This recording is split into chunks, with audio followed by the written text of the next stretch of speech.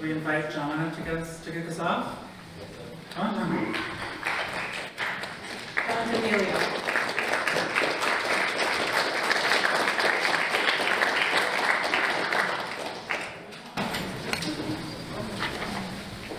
Well, it's, it's a, a real privilege and a little bit intimidating to do the first one. Uh, but uh, let me start. Um, so I, I first met Amber in 1979 when I spent several months in San Francisco. And my first weekend there, I was on a panel on gay and lesbian history. And one of those in the audience uh, was this very tall, imposing blonde. And after which she told me that she worked at Modern Times, which was a bookstore run by a left-wing collective, and I should come by. Um, the following Monday, uh, the verdict came down in the trial of Dan White for the murder of Harvey Milk and George Moscone. And White, as many of you probably know, received the lightest possible sentence, and the call immediately went out to assemble at City Hall to protest. Uh, lots of speakers addressed the crowd, and they all urged us to stay calm. Harvey would want us to be peaceful, they said. Um, then, uh, this tall, imposing blonde came to the podium, and Amber's message was clear. You have a right to be angry, she shouted. Uh, what happened was a miscarriage of justice. Let me see your rage. Uh, and the crowd eventually exploded, and windows in City Hall were smashed, and a row of police cars went up in flames.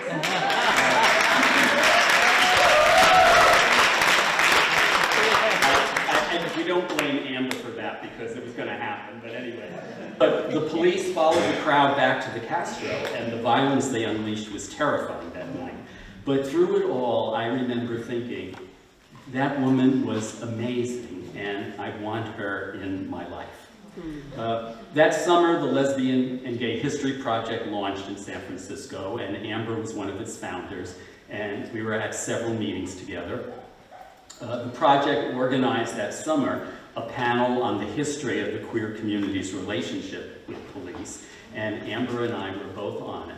Uh, the event's title was Spontaneous Combustion, and when Amber spoke, it felt like the audience might act out the title. Finally, after many encounters in group settings, we planned a Saturday breakfast together. We ate, we talked, we left the restaurant, we kept talking. Eight hours and two meals later, we were still talking. And that day-long conversation really launched a friendship that continued for over 40 years. Uh, we overlapped in New York in the early 80s, uh, and for two glorious years in the 2000s when Amber worked in Chicago. Uh, mostly, though, it was a long distance relationship. We would connect at conferences like Creating Change, uh, and whenever I would come to my hometown of New York uh, to visit. And through those decades, really, our conversation never ended. Uh, in San Francisco that Saturday, a major topic was the Briggs Initiative, which the year before had launched what was probably the biggest organizing campaign that our community and movement had ever seen. And Amber described to me uh, her way, making her way through small communities in Northern California and the Central Valley, engaging in conversation with countless individuals who had never met a lesbian before. Uh, and for this gay guy who had lived his whole life in New York City with a large queer community around him, I was awed by the courage of this remarkable dyke. We discussed many other things, uh, topics that we never stopped talking about. Uh, the state of the left in our ever more conservative political environment, uh, our movement's tendency toward respectability and how it drove both of us crazy, uh, the increasingly conservative sexual politics of what was once a liberation movement, uh, the class and racial boundaries that many movement organizations would never acknowledge. And through all these years, as we all know, Amber remained a bold and tireless activist. Uh, She arrived in New York just as AIDS was devastating our communities, and she plunged into the fight against it. Uh, she worked for the New York City Human Rights Commission, combating AIDS discrimination, uh, then for the Gay Men's Health Crisis in New York, where she started the first ever lesbian AIDS project. For a time, she was a staffer at NGLTF. Uh, she pioneered in queer aging issues at the Howard Brown Medical Center in Chicago. Um, and for years, uh, her last sort of big thing was that she directed Queers for Economic Justice, uh, one of the few LGBTQ organizations that recognized how class oppression impacted the lives of queer folks. Um, and Amber always managed in her activism, and I want to quote here, to say out loud what everyone has agreed not to notice. Uh, she was always asking, whose gay battles to survive will be remembered and prioritized. She always called for a new revolution that included the sexual desires that so many people experienced with shame. Amber insisted, and many of you know her book, that we embrace our most dangerous desires and fight for a world that values human sexual possibility. She strove to create a movement willing to live the politics, as she described it, of sexual danger in order to create a culture of human hope. And I and so many others um, will never forget her bold, her daring, and inspiring work.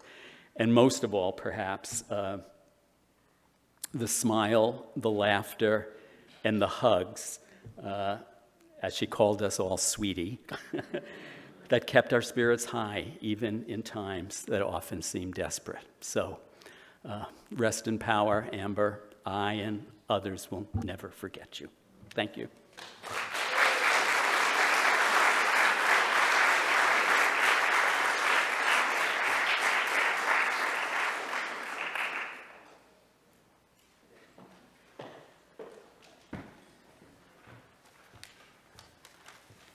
Hi, everybody. Uh, it's really nice to be in a room, most of you I don't know, but in a room of people who loved Amber. Um, my name is E.G. Crichton, and I first met Amber either end of 1971 or beginning of 1972. And up until about 15 minutes ago, I was questioning whether I had indeed met her at a meeting of lesbians that was organized to write a chapter for the Our Bodies Ourselves book that, that the Boston Women's Health Collective was, was putting together, had already put together. And we had protested their exclusion of any kind of queer content. So, but I really wasn't sure, did I really meet Amber in that meeting? And I just ran into Marla 15 minutes ago, who said, yeah, Amber was there until she walked out after five minutes um, furious about class issues. so, uh, yeah, no, thank you for clar clarifying that.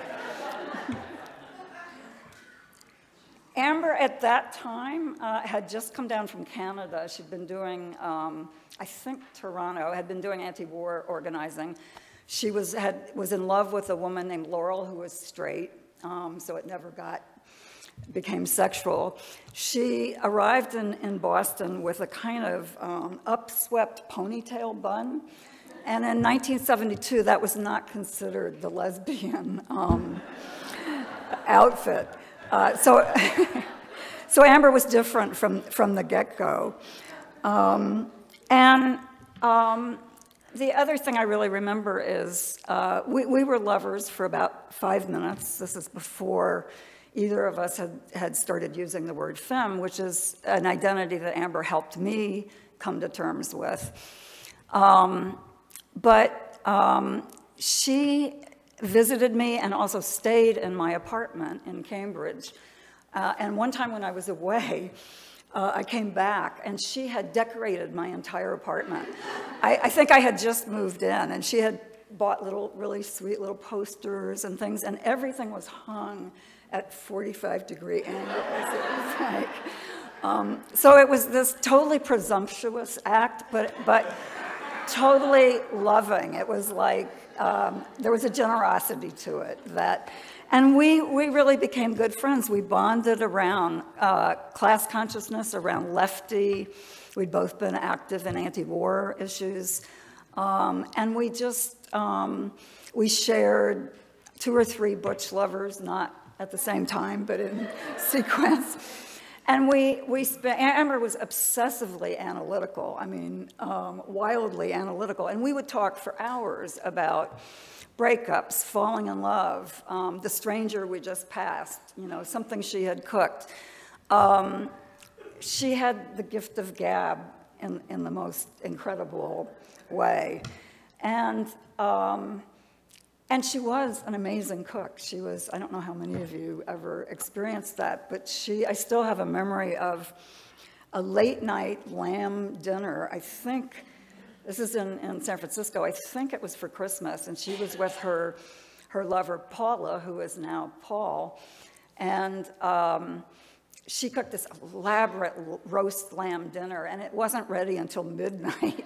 but, but we all, uh, I, I, still drool when I think of that, that dinner. Um, Amber also introduced me to sex work and sort of the lighter end of it in terms of um, topless dancing in Boston and outskirts. And both of us made our way to San Francisco about six months apart um, on the funds that we earned doing that work. Um, we uh, were in a number of political groups. Some of them were, were really um, um righteous, and some of them were far less than righteous. Some of them were embarrassing to even talk about. We were in a prison group at once of six of us that went into a prison in Connecticut and on the heels of some kind of Harvard study. And we all just, you know, we just tried to organize these women around lesbian stuff and bring them lesbian books. And, you know, they, this, this was not what they were interested in at the time. So, um, so, um, you know, I just, I, I miss Amber. I miss her intense love, her, um, her kind of wildly imaginative storytelling. You know, nobody I knew ever knew, did she, did, was that really true? Did she really do that? Um, so when I thought about what to say about her today, I thought, well, in Amber's tradition, I shouldn't worry too much about the truth. um, the, the last time that I saw her, I, have actually missed Amber for almost a decade, and this has to do with living on two coasts, but it also has to do with the tragedy of her disability and the way that um, that she mourned being able to enjoy retirement, um, you know, between her broken femurs and her diabetes. And so she isolated herself, and that was um, hard for me. But when we got together, it was always, uh, usually at her apartment, it was always just talk, talk, talking and laughing and, um, you know, like old times. The, the last time I saw her, it was over a hospital bed that Jeffrey Escoffier was in a coma in, and this is about a year and a half ago. And Amber and I met at the hospital, and we old friends with Jeffrey. The three of us had had countless dinners in New York restaurants where we closed the place down, just, you know, talking about ideas and plans that we never did. And, uh, and Jeffrey was, in, was sadly in a coma, and Amber and I read to him, we sang to him, we talked, talked to him, we talked with each other, and it was a very intimate moment that I'm really thankful um, that I shared, and that that's one of my, my final memories of Amber. Um, so anyway, I, I miss her, and I know you all do too, and thank you.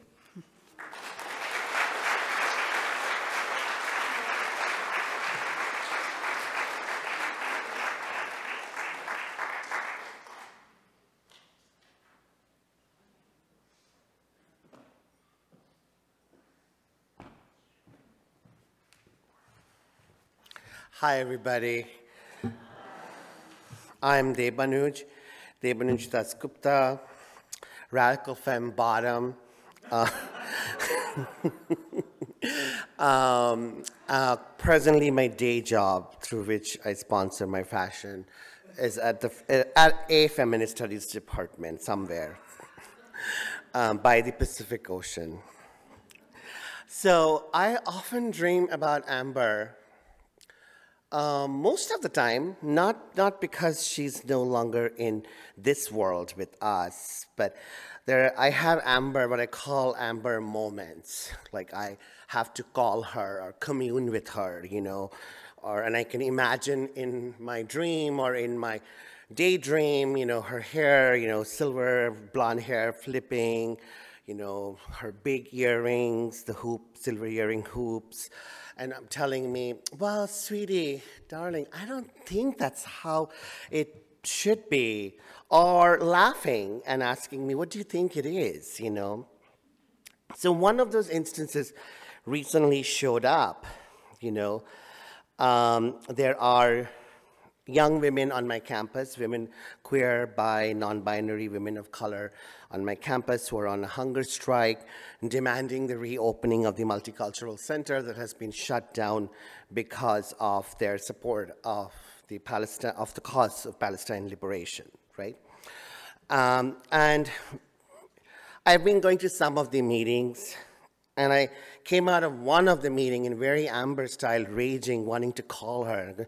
Can you believe these Neiman Marcus Marxists? What the fuck talk in these campuses? No idea of real life organizing. I really wanted to call and like bitch with her because Amber has the art of what we consider bitching into converting it into social critique. you know? So, uh, I mean, I think, I think it's quite, uh, it's the Amber Hollibaugh style of critique that I try to teach as a teacher to my students. Um, and I recently taught her book.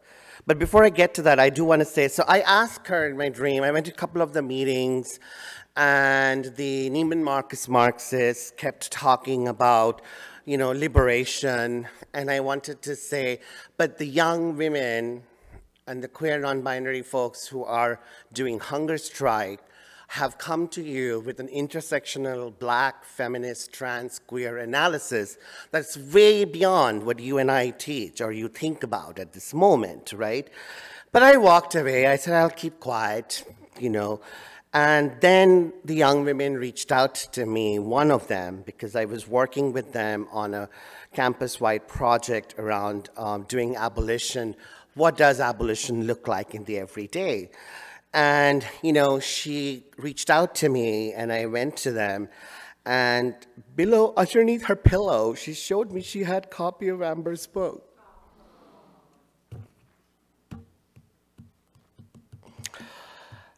And she pointed out a paragraph that I had taught of Amber's from one of her conversations with Laura Flanders. And Laura, you, are here, I see you. Your um, interviews with her are amazing pedagogical tools. And she pointed out the power of a political vision is deeply engaged with how you can live out the liberation that you seek, and part of that vision is the erotic. Sexuality as a profound component of how people are oppressed and how people dream. Dream is where I often try to meet you, Amber. These days, and during the pandemic when we couldn't meet, the last time we talked in person was when I had to go, when I went to give her informally the news about um, the Kessler Award. And, you know, she got the phone call from me. She called me back and said, girl, darling, is this real? Are they going to change their mind? Because I don't want to talk to John or other people if it's not real, you know, like you guys are not going to take this back. It's, no, Amber. Um, and in my phone call with her, my last long phone conversation was around E.G. Crichton when you were talking about the passing of Jeffrey Escoffier. But the very last Bitchcraft Amber Hollibaugh social critique mode was after a, a webinar that Margot Weiss, Joseph Donica, and myself had co-organized as a part of bringing together Kessler awardees, and it was her and Urvashi Vaid and Dean Spade. And um, when it was going on, I mean, at that time, I was kind of already knowing this was one of the last times we were hearing Urvashi in public, but I didn't think of Amber. And I was in India, it was 4 a.m. India time. Her and I had a long phone call after the call, after the webinar, and we bitched about how the sex phobia of the movement, you know, um, people. So as a teacher, I want to just talk a couple of things about how Amber helps me today as a teacher in the classroom in a feminist studies department by the ocean. Um, um, you know, uh, for Amber, she gives me a materialist interpretation of desire. Yeah, I read Judith Butler's Subject of Desire. I read Deleuze and Guattari, but Amber shows the students what theory in flesh is, what desire is felt, expressed, organized, practiced looks like. Because you can talk about subjects of desire by a certain author to young undergrads who are questioning their sexualities or for the first time figuring out a way to write about their immigration status and their identities. But Amber really shows them a world where hope, desire, and pleasure refuses to put profit before people, as well as refuses a Marxist prescription of revolution or what that might be. So as a teacher, thank you, Amber, for helping me with these two important rejoinders. Amber has sent us into the world as a desiring subject seeking to write a theory in flesh of trans queer refugees, in my case, whose lives are torn apart by war, destruction, and sexist, homo, transphobic uh, persecution. The answer to what is happening on my campus or college campus is lies in knowing that our campuses are not the only site of organizing. With Amber and many of you in this auditorium, I have been part of direct actions, organizing queer refugee asylum rights, and ultimately, she has helped me rewrite or how to rewrite or how to tell the story of desire and pleasure um, of queer refugee world making that is filled with friendship, joy, and the ethics of discomfort. As a friend, it is this ethics of discomfort that our friendship has always embodied. I met Amber first, um, I couldn't decide either. It was either at the Class Institute at, Q, at um, Creating Change. I'm thinking it's probably Portland, Oregon um, or way before that around these streets or probably this hall or this auditorium. And I had already read her book. I went to give her a hug. And she gave me a hug that embraced me and made me feel like seen, seen as a femme, goti, you know, radical politics that was unhappy with no conversations around the intersections of documented or undocumented status. When I was working with, with many of you here, I see Trish. Hi, Trish. Haven't seen you in a long time. We were, we were working on um, and issuing a mission statement on uh, queer vision for immigration justice. You know, that was really helping put practice. So with that, I want to say that Amber, for me, is all about friendship, in praxis. Thank you.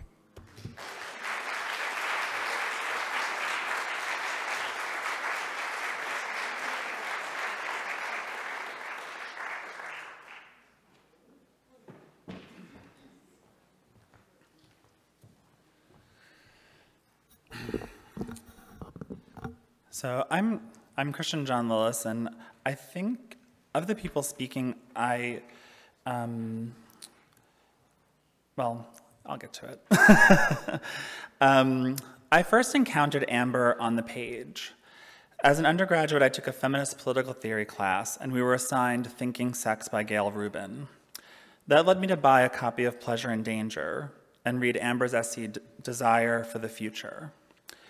It was 1992. I was the oldest child of a single mother on welfare for most of my childhood and teens. My femininity, my identification with Wonder Woman, and my queerness made me a target for violence from the time I was in kindergarten. I was lucky to have a mother whose older brother was gay, who got pregnant with me and had a shotgun wedding, and whose marriage failed when I was five. Her own experiences prepared my mother to raise a feminine queer kid with a modicum of self respect. I came out in 1989 at the age of 16. AIDS was ravaging the gay community in New York City. I was terrified of sex and desperate for it. I wanted a man to hold me, to desire me, and of course, to love me.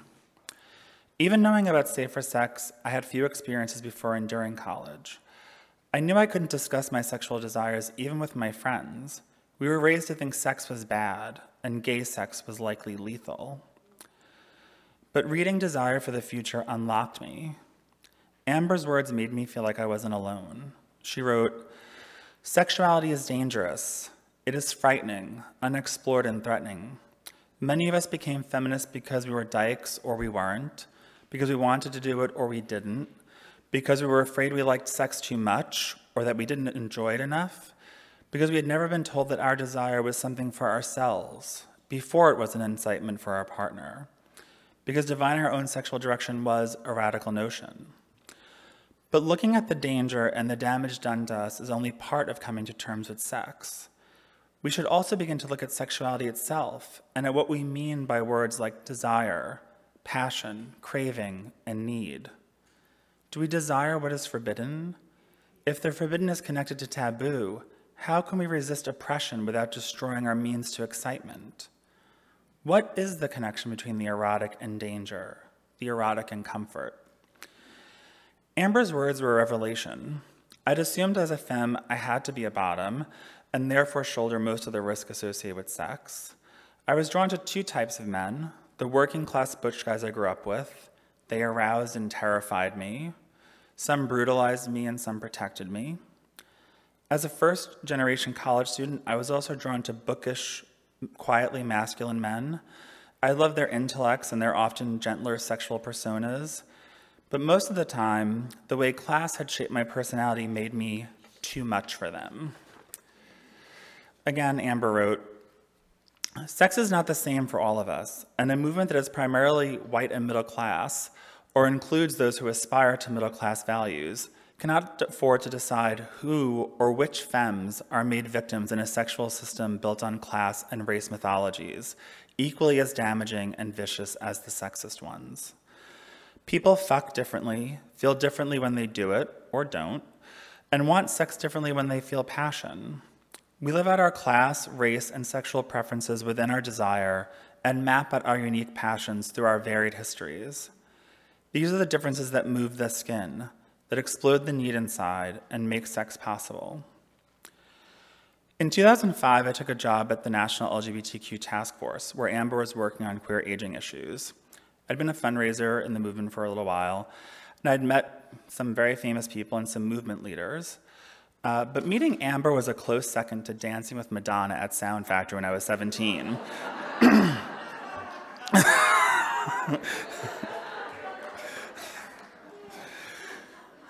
uh, I was going to try to be serious, but I mean, you just can't. Um, this woman whose words had such an enormous impact on my thinking was now my colleague. We hit it off immediately. Amber was as brilliant on the fly as she was in her writing. Even better, she was tall and blonde, with deep red lips that danced around her joyous laugh. I was 32. I had been with my husband for four, with my now husband for four years. He is the quietly masculine type, the yin to my yang. Still, as Amber wrote in the early 80s, quote, I was on the run from my own desires. I was angry and afraid of the feelings that were alive in my body. I felt driven between my wish to be a decent, reasonable gay and an equal, equally powerful wish to throw all my beliefs and upbringing away and explode into my own sexual raving. I thought I would go mad with it.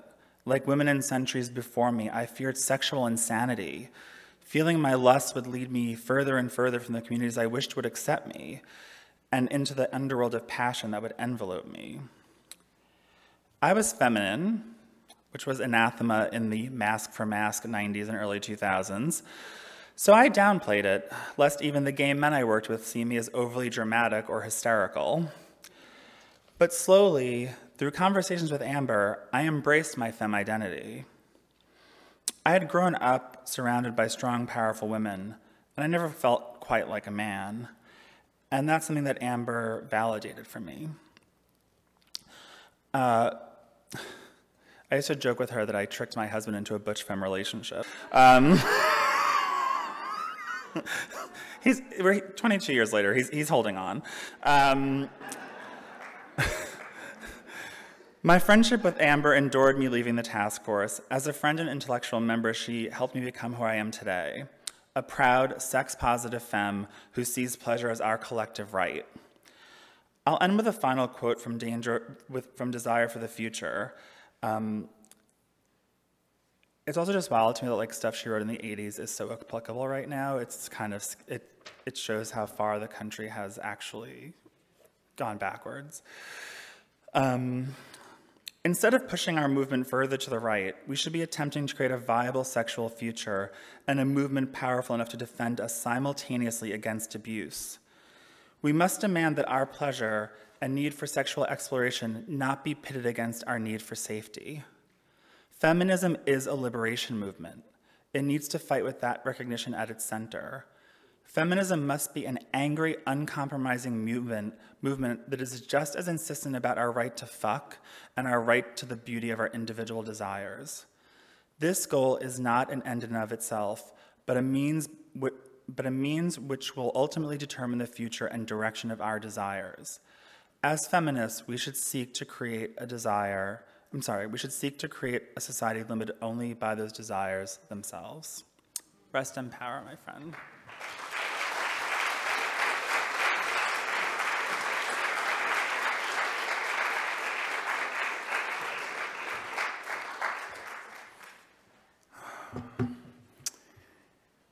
Good evening, everybody.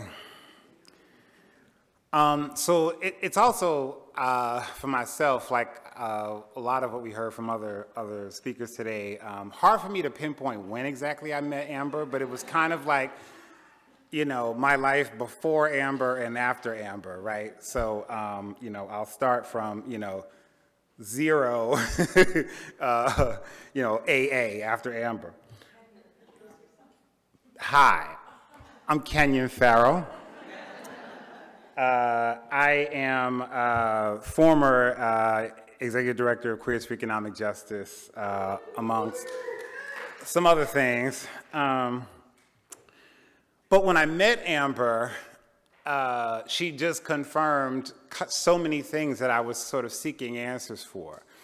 Um, I'd moved to New York a few years prior uh, from Cleveland, Ohio, which is where I'm from and where I'm now living again and um, grew up in a uh, housing project in Cleveland in the 1980s. And uh, as I tell people often, contrary to you know sort of popular belief, I grew up in a community where there were queer people around and who were a part of the community and who were part of our extended family. Nobody hid it. There was never. I don't have a story of a time where I didn't know what being gay meant or whatever. Uh, it, you know, so I feel very blessed in that sense. But when I, um, as I grew older and then went to college and then moved to New York uh, and was coming out, uh, you know, or just coming into political work and finding the just obviously whiteness and the just bouginess of, you know, gay politics, um, just feeling very uh, alienated and like I didn't understand what people were talking about. like, and so um, meeting Amber, was a real revelation, uh, you know, in that sense that, you know, my experiences as uh, a poor kid growing up, um, although our lives were very different um, in that circumstance, but that I had something to offer, right, to, to this work and to the movement. Um, one of the things that I remember uh, as we sort of started working together, I think the first thing we worked on was the Beyond Marriage Statement, which people may remember. And, um, and then as I got more involved in QEJ and became a staff member, and then even after I left as ED, I remember, um, I think shortly before I left as ED, when she was still on the board, we were sitting in a new office that we had moved into on West 24th Street and said to each other, we were just like, you know, who's organizing? So now we're in Chelsea, right? We're in, at the time, you know, the neighborhood. And what is happening to the, the, the bar backs in these gay bars, or to the, the drag queens, or to the strippers in these clubs, and what, what are their wages like, right? Are people stealing their wages? What do we, you know, and what QEJ's role could be in um, helping to organize queer workers, right, in uh, those kinds of spaces, and how we could sort of tie that work to the existing housing and homelessness work that we were already doing, the welfare work that we were doing. Um, and then went to shop that around to several funders. And some of you know that Amber went on to do the kind of queer survival economies work, which really grew out of those initial conversations and uh, found no takers among funders, as you probably uh, can imagine. And so when I think about Amber and her uh, impact, uh, you know, on the world, some of which folks have already spoken to, the um, we're now in a sort of queer sense, the, the idea around sort of femmes and femme power is now so central into, in terms of how people are identifying themselves, uh, you know, in movement that as far as I know, Amber was really one of the people who helped kind of solidify um, as, a, as a, a political identity, right? Um, I think about the fact that we're now in a space where people more readily uh, disclose themselves as sex workers, right, in the context of their political work, right, and what that means to them in that sense. Um, and I think we owe Amber uh, a great debt for those things. And I think that a lot of Amber's work, as, as uh, my comrade and friend Debanuj just, just said earlier, um, speaks a lot to where we are now politically. And I think that a lot of the uh, writing and uh, speaking and uh, you know videos that are now online of Amber uh, really speak to the, the range of challenges that I think that we face.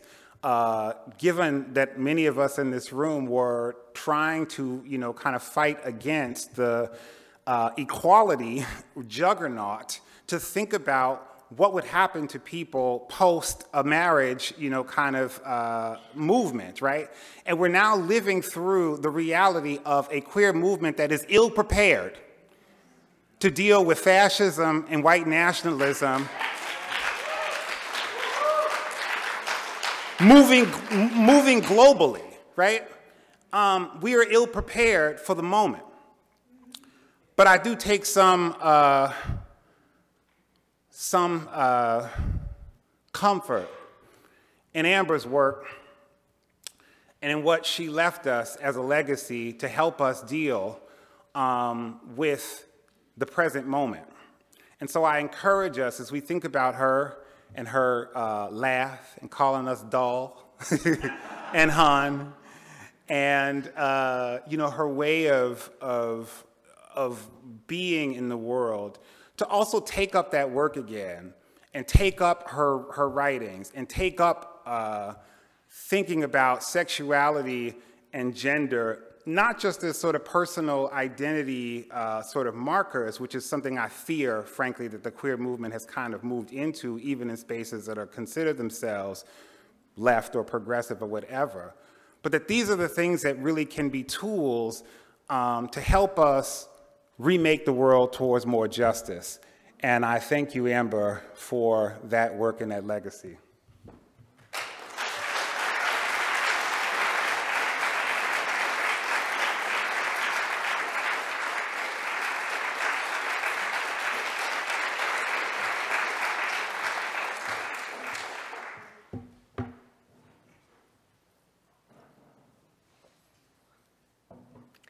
Really blame you, Christian, for putting me right after Kenyon, but wow.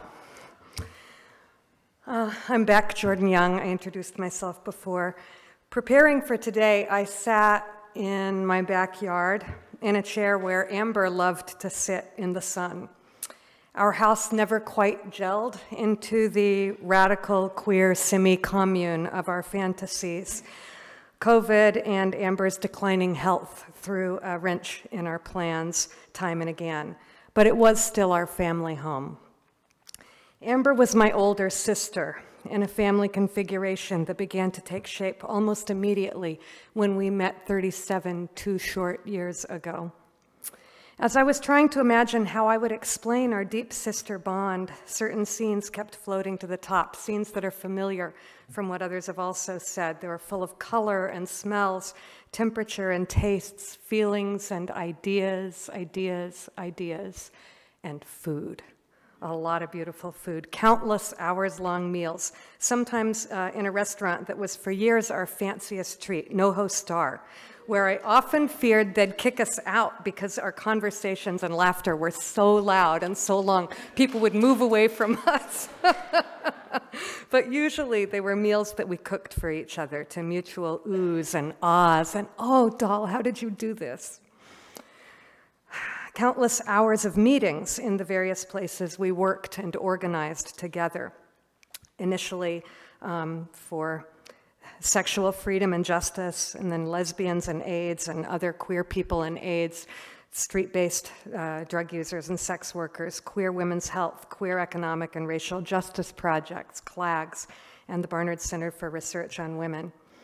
And also at the cottage at Cherry Grove, where we wrote and ate and drank, and I puttered around fixing things while she loudly marveled at the fact that I had such butch fix-it skills. But from our first intense conversation in a jail cell in Washington, D.C., after a mass arrest at the Supreme Court, where we were protesting the Bowers versus Hardwick decision, I was shocked at what I didn't have to translate for Amber. Never before or since, since have I known another femme, left, queer, incest surviving, working class intellectual. Although probably there are 20 or 25 in here but it really felt like, how did this configuration happen in another person? So, those 17 years my senior, Amber treated me as a peer immediately with seriousness and respect and camaraderie. I know Amber touched many of you in similar ways with the shock of recognition and the hunger to communicate, to connect, to change the world together, and the belief that that was really possible and vital that it wasn't something that was uh, an empty fantasy or naive, that it was, in fact, the only thing worth doing, the only way worth living. So, as I was preparing uh, these comments, I, I thought about who couldn't be here today and who else shaped my thinking partly through and with Amber. And I kept thinking about Dorothy Allison, who couldn't be here today, but who um, Amber talked with me about a lot. I know that Dorothy really shaped Amber's thinking and writing. And um, so I went to the foreword that Dorothy wrote to for My Dangerous Desires. And there's a really beautiful passage. The rest of what I'm going to read is Dorothy's words. Um, Dorothy wrote about Amber's deliberate rebellion against shame and fear. She continued, the risk she takes is enormous. This is who I am, she says. This is how I was shaped, and this is the work I have done to sort out all that is strong and valiant about growing up working class, femme, and perverse. This is what perverse really means to be disobedient to the rule of fear and hatred and shame, to seek one's own definitions and ideals, regardless of what others insist are the limits to what you may want or have. The work Amber has managed over decades of political activism and embattled passion, that work is a gift to all of us. It is also the fulfillment of a promise, a bargain she and I made long ago. I'll tell you mine if you tell me yours, I promised my new friend, Amber, in a coffee shop in Manhattan more than 20 years ago. What I offered my friend was the dangerous revelation of desire.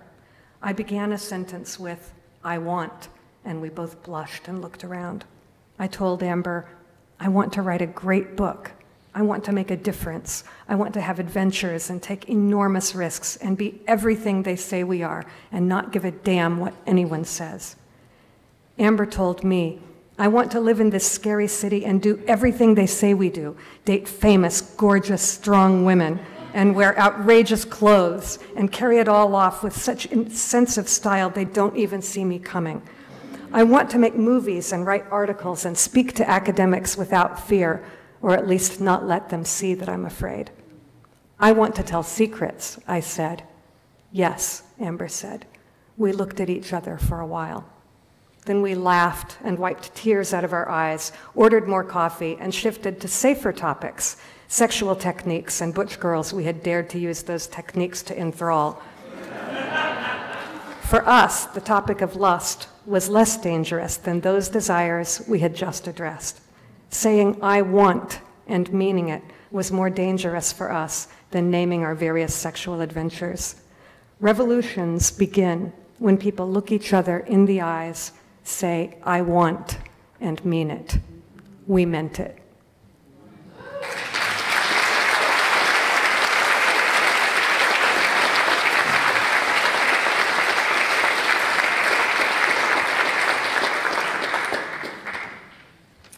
Oh, oops, that's the wrong program. Here we go. No, that's not it. Okay. Here it is. Okay. So next, we're going to just take a short pause in the, uh, in the comments, and we're going to show a beautiful video that Rodrigo Brandão created just for today.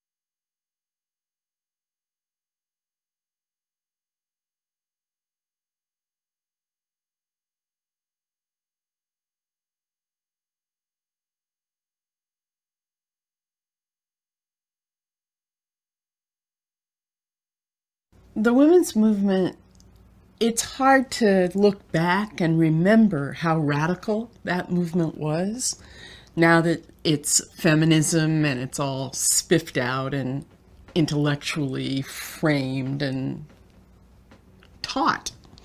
But there was no there were no gender studies courses. There were no there was nothing about that in the world when the women's movement began and for me, I resisted it for quite a while because I really didn't like other women and I really didn't like myself. But I didn't know that because I'd been a powerful activist, revolutionary, leftist, civil rights activist. But I felt guilted into going to the to a women's consciousness raising group, and it was shocking. I, I nobody was doing anything fancy. People were sitting around in a circle talking about life experiences and what what they thought about being female and what had happened to them in their lives and I started to hear it in a way that got underneath the way that I disliked being female. And it was astounding to me. I, I, I just remember thinking, I, I can't believe what's been done to women. I can't believe what's been done to me. And I don't even know how to think about this because it's so huge. And so I became a person that was really involved in the beginnings of the women's movement, um, which was very complicated to try and be a part of because the the broader movements, the civil rights movement, the anti-war movement, whatever, completely dismissed women's liberation. And if you were a person that then, if you were a woman that then challenged the kind of leadership around these issues, you were just laughed out of the room, or it was even more hostile. I mean, it was ugly to try and make an argument for what happened to women, what was occurring to women. And it was always displaced. Well, what about class? What about race? What about whatever? And I, I felt really um, both exhilarated in my own self because it was so illuminating to me about how I'd been raised and like I have a very complicated relationship with my own mother who was dirt poor, but she was also violent and beat me. And so I never, I think it's one of the reasons I felt so strongly about not liking women, not trusting women. And I began to understand what had happened to her. It didn't make what she had done any less, but I began to understand our poverty in a different way. I began to understand what it meant for women to never be allowed to have dreams, what it meant to really not have the capacity to build a life that might resemble what you want. All you could do is get married. And I was a dyke. I mean, I was queer. And I I really didn't know what to do with that. Feelings are powerful things, and we should unleash that power more often.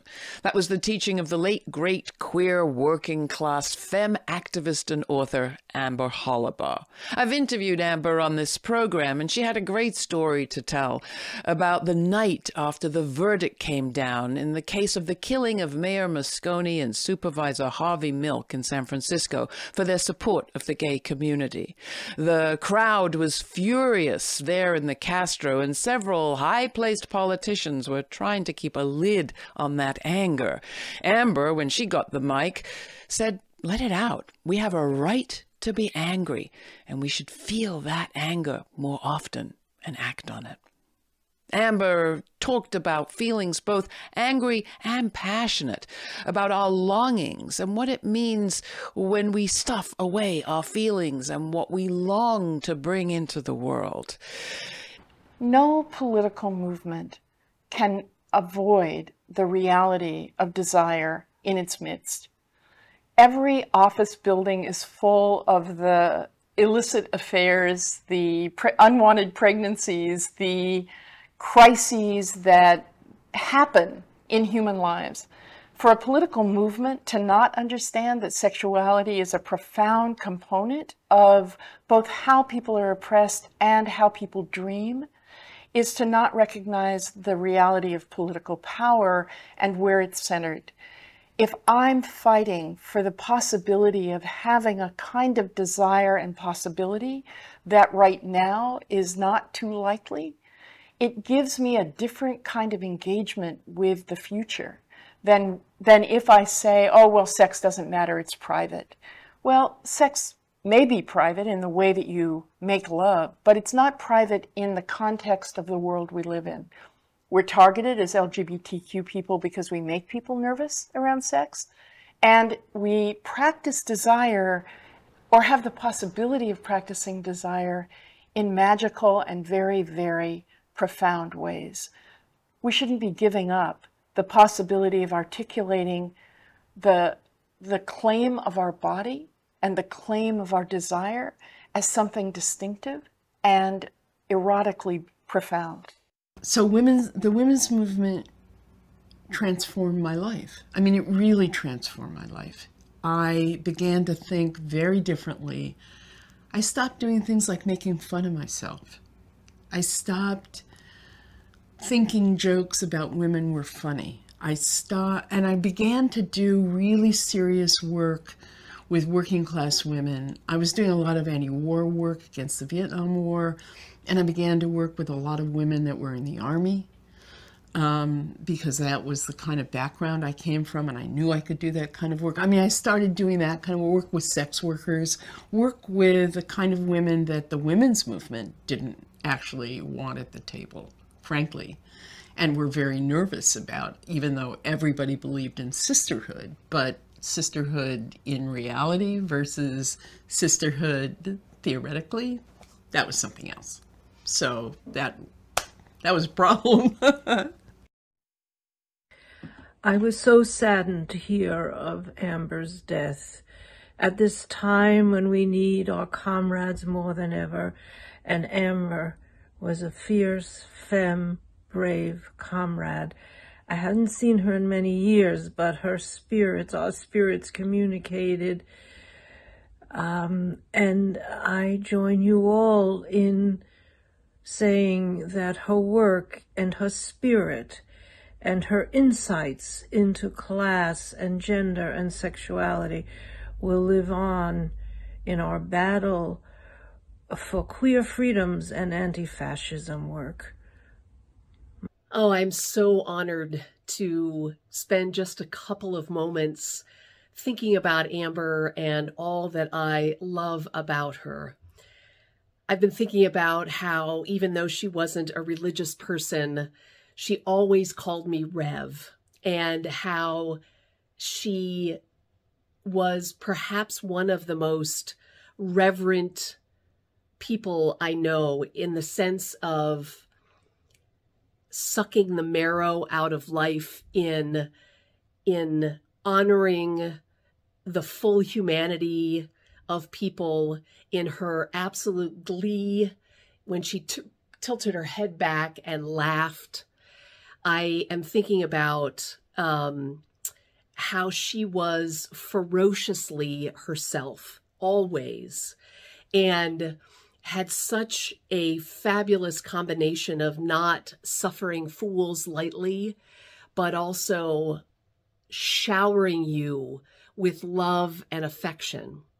I think about how she was such a role model to me of someone who maintained her brilliance and her passion for intersectional justice making in ways that some people lose that passion as life goes on. And Amber was passionate to the moment, uh, to the last moment that I saw her. And I think about the breakfast that we had at Creating Change a number of years ago after she broke her femur and uh, how we talked about life and death and disability. And I just had a car accident six months ago that almost killed me and pretty significantly injured my leg. And I think about that conversation with Amber, and I hope that I am uh, responding to what happened to me with the same amount of chutzpah and passion that Amber has responded to the pieces that happened in her life. So I love you, Amber. I will do my best to keep up the work that we shared, sending so much love and prayers and blessings. It's impossible to capture the scope of Amber in a few moments. I just know that her life represented that rare quality, authenticity. Her words, writing, her very presence were a relief in this crazy world. When I think of queer survival, and I think of it a lot, I think of the brilliance of Amber. She understood and understood deeply our gorgeous precariousness. Her courage to never look away, to name what so few would or could name, was a beacon for me personally and also for my community. Her words provided the relief of truth and insight that I have so needed time and again. Amber was a beautiful soul. Hey guys, just uh, wish I was there with you all uh, in uh, Loving Amber today. I'd like to tell a quick story uh, about her compassion and her fortitude and just her love of community and helping people. So QEJ had a, a trans girl in the shelter system uh, that had never been to a prom because she couldn't go as she wanted to go as herself. And I put a call out uh, telling pe people the story, and Amber answered and got this woman, this young lady, a gown, shoes, makeup, hair, and off she went. Uh, I took her to the prom, you know, to a prom at the center and I ran into her years, years, years later. And uh, she still talks about it. It was one of her highlights of her life. And Amber made that happen. She helped this woman uh, that just wanted to be happy and be herself. I loved working with Amber. You know, it was uh, trying, you know, because Amber could be a little stubborn at times, you know. Uh, but, you know, the conversations we had around policies and anyway, I only have two minutes. I love you, Amber. Always have. We'll miss you. This earth, this community is going to miss you. But, you know, I'm not a religious person, but if there is something somewhere, I know that you're up there organizing. I know you're up there making sure that everyone is at the fucking table, that no one is ever left out, because that's what you believed in, that we all are together in this. Uh, hello, I'm Felice Picano, and I'm honored to be part of Amber's memorial service. I'd seen Amber around at various political events for some years, especially in San Francisco. I knew Jennifer from being writers together when there really weren't that many of us openly gay and lesbian writers, and of course through via mutual friends. Jen reminded me that it was in Different Light Bookstore on Hudson Street in the village that I saw the two of them and introduced them to each other. Not long after, I was living in California, and Jen called and asked if my guest loft in the Hollywood Hills was available for a period of a few days. It was, and that it was then that Jen and Amber arrived for a slightly delayed honeymoon. I was delighted to be part of that. The three of us then drove up in my little teal colored rice rock up the coast to San Francisco, where they finished the trip. Amber was involved in AIDS work about the same time that I was um, on the on the West Coast, and then when she came to New York, she got involved in GMHC's lesbian outreach and lesbian AIDS um, work for the for the group. Very important work that nobody else was doing. I went around. In fact, I went around with my sister-in-law who was sick, straight woman who was sick. Around that time, we were going to high schools um, and private schools talking about uh, women with AIDS. the the all too well knowing, slightly mischievous looks that Amber could give you in a group was absolutely unique to her.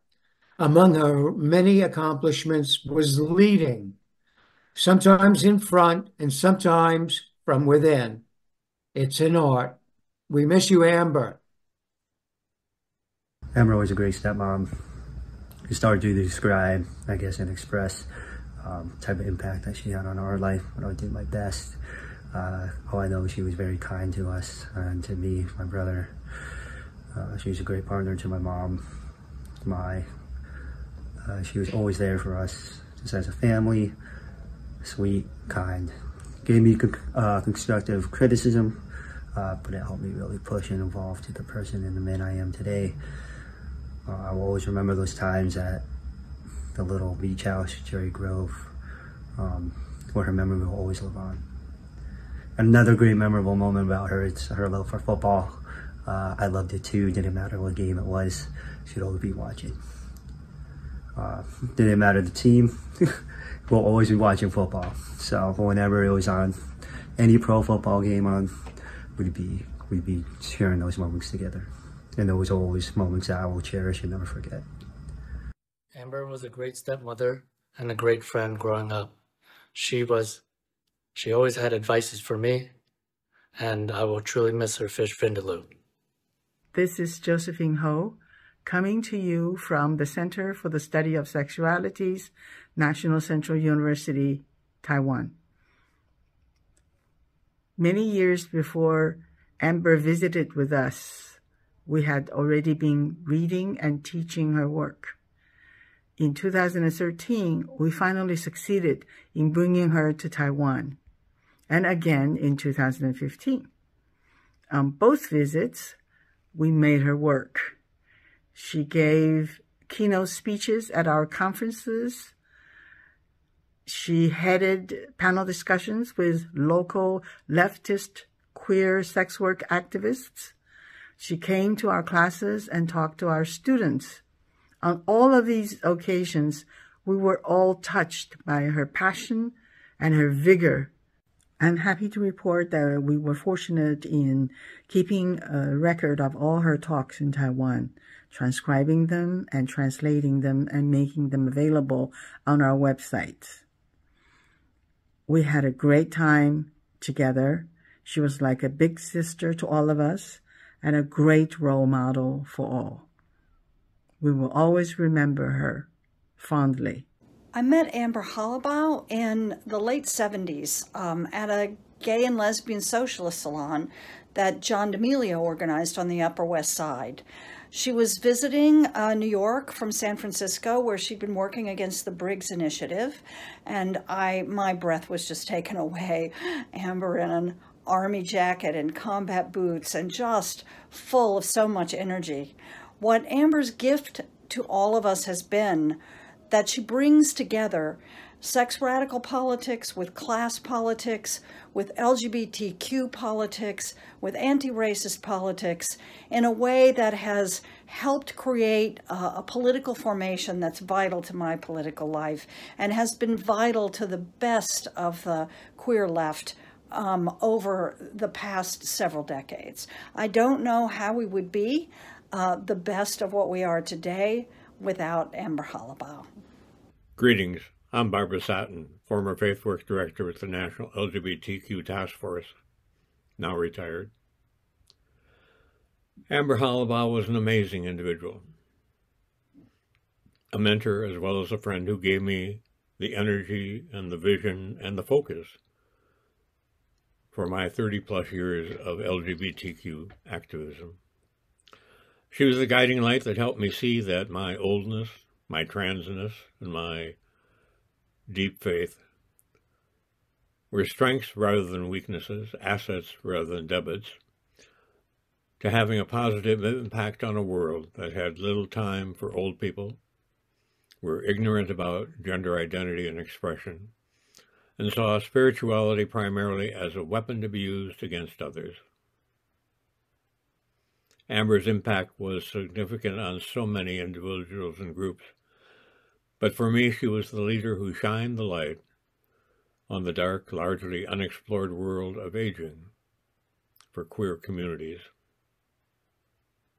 Her seminal work, Outing Age, was the Bible that many of us read cover to cover and used to help us inform our peers about the issues they faced as they aged, while also giving us tools and valuable information to assist legislators, administrators, regulators, and senior care providers who are willing to respectfully serve old lesbian, gay, bisexual, and trans folks.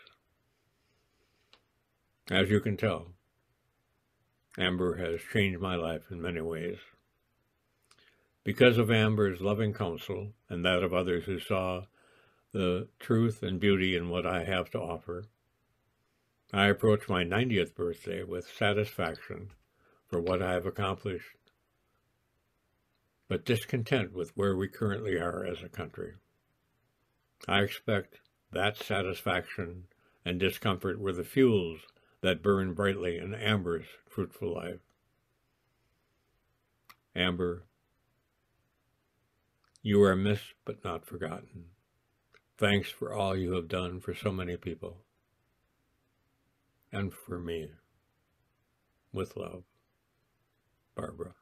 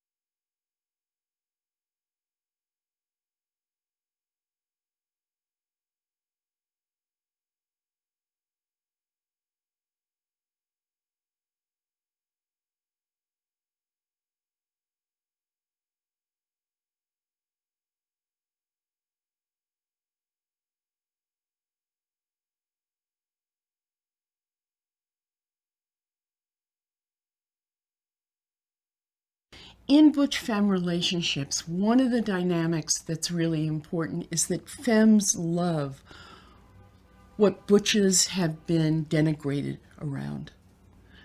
We love that they are in their bodies the way that they are. We love the masculinity up against the being female. We love the fact that they don't take any crap. We like how they drive. You know, I mean, it's really, it's like, and we give that to our lovers. We get, that is part of what's so profound, I think, in Butch Femme relationships is that we love the place that's been so hurt and so punished. And we want the place that they've had to try and figure out how to deny sexually. We want who they are. We want that desire. We want that fierceness. We want somebody who's not going in soft. We want somebody who wants to take us apart and put us back together. And we want them and their capacity to do that with us. So part of the comfort in a way is that we find we find them beautiful. I mean, uh, I have always found butch lovers just irresistibly stunning and complicated and erotically exactly who I want to be with. And they want me. And they want me in a way that I'm me, having built my femininity, not because I'm feminine, but because I actually have, it's like being a drag queen. I have created the way that I'm a femme, and it's not like my mom. It's not like straight girls. It's like, don't get confused and don't get in my way. So somebody's going to want to love me back that big and not be intimidated by the way that I bring my feminist to a relationship.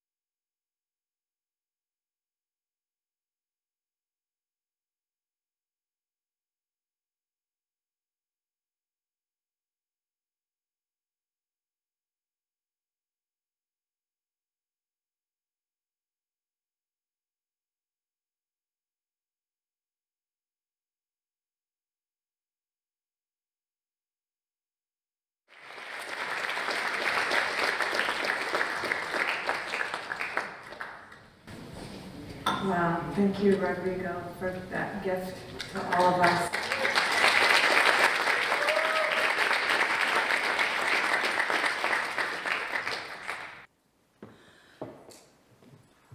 So, my name is PJ Starr, and I am coming to you from the horse. Uh, I'll start out by saying our dearest friend Amber has ascended to wherever the greatest whores go, and as other speakers have noted, is organizing there. Sharmus Outlaw Carol Leigh, Cecilia Gentili, Gabriela Leite, Lorena Borjas, and so many more. And now Amber Hollibaugh. As long as there is breath in my body, I will raise your image, Amber, in sex worker rights. You were a great filmmaker, writer, an excellent whore. Uh, and in a small way, in my orbit, or my orbit is small, Amber's impact was great. Um, you did something amazing for me and my co-director Erica, who's down there in the audience, which was be an advisor to the very end of our trans and sex worker-led space, which is called B Triple P. Without Amber Hollibaugh, there would be no B Triple P. She was there for so long and was there for us, and we honor her. What you, Amber, added to our understanding of um, sex worker rights is the following. It that is that sex workers are and sex work is everywhere. You recognize sex workers in all the workplaces. Many conversations we had. Home Depot, Walmart, NYU, any university when you think about it. But she would always say to me,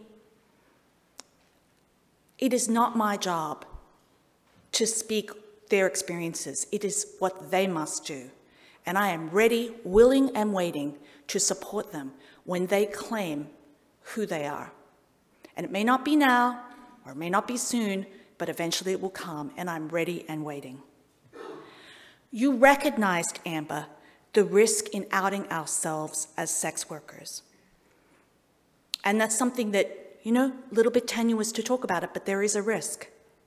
When the book, My Dangerous Desires, came out, Amber shared with me that because it said something to the effect of prostitute on the back cover or sex worker, I can't remember which term was used, that when she was interviewed for, uh, in, re in regards to that book, all interviewers focused on was tell me about your experience as a prostitute. Tell me about that all of her experience, and this is something we talked about a lot, was flattened externally to you are just the whore. That is who you will always be. You can't be anything else. But we all know that Amber was completely intersectional and so much more involved in every movement. But those words on the back cover meant that when interviewed, that was all she could be.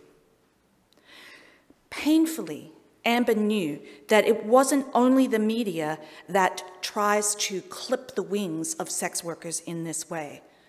It's everywhere, uh, in social movements, in university classes, in organizations, in feminist groups, no matter where we go, when it is revealed in some way that we are the whores, that is all we are allowed to be, nothing more. When we stand and when Amber stood side by side with many academics or straight people with jobs, I don't know, people with, people with paid employment, she would be doing the exact same thing, the exact same thing in human rights circles, the exact same thing, but almost always unpaid. And that is the heart of whore stigma, that you don't trust the whores with money, and you don't trust whores to be paid, and whores are maybe not worthy of being paid. I have some great news. We can end this today by taking out our cell phones and donating to one of the, one of the many causes that Amber supported. It starts with us. We have Cash App, PayPal, all the rest. All of this money is accepted by sex worker rights advocates. Now, you're probably thinking to yourself, but why just me? What about the state? What about those billionaires? Don't worry. Sex worker rights activists have a plan to get money from the state and redirect it to the programs that are needed, and are in fact doing that right now. And it has been a long term goal of sex workers since as long as we've known to take the money from the billionaires and give it to the people in need.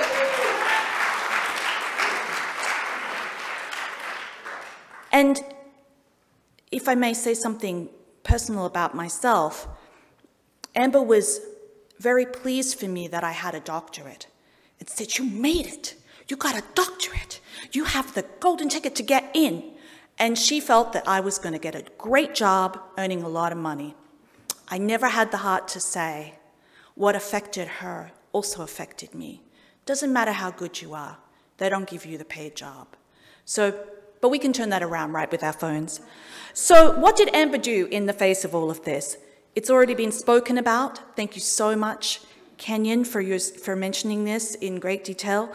Uh, she started QEJ, Q's Queers for Economic Justice, because that's where it starts. It starts with us.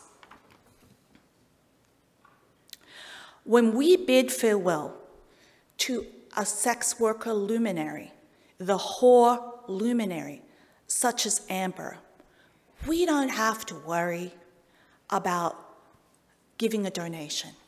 Where will the money come from next week? Don't worry, Amber's got you covered.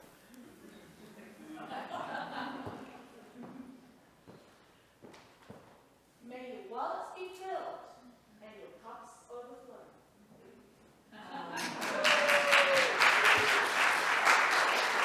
All right, give me more. Uh, that's the incantation. excellent, excellent whore Amber. I, they, they called you a challenge. You never were that for me. But thank you if you were ever an irritant or you were ever difficult. You kicked white supremacy's ass. You addressed the pain. You had a giant heart and we had times. You taught me to be okay with having grown up poor and to be myself. I carry you with me every single day. Rest in power. Amber Hollibaugh.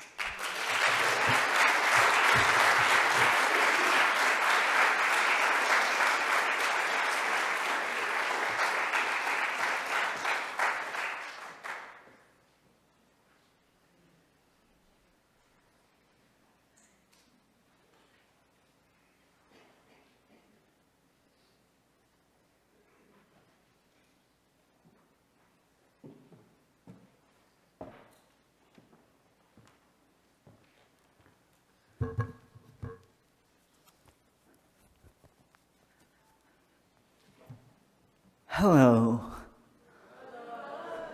I'm Eli Clare.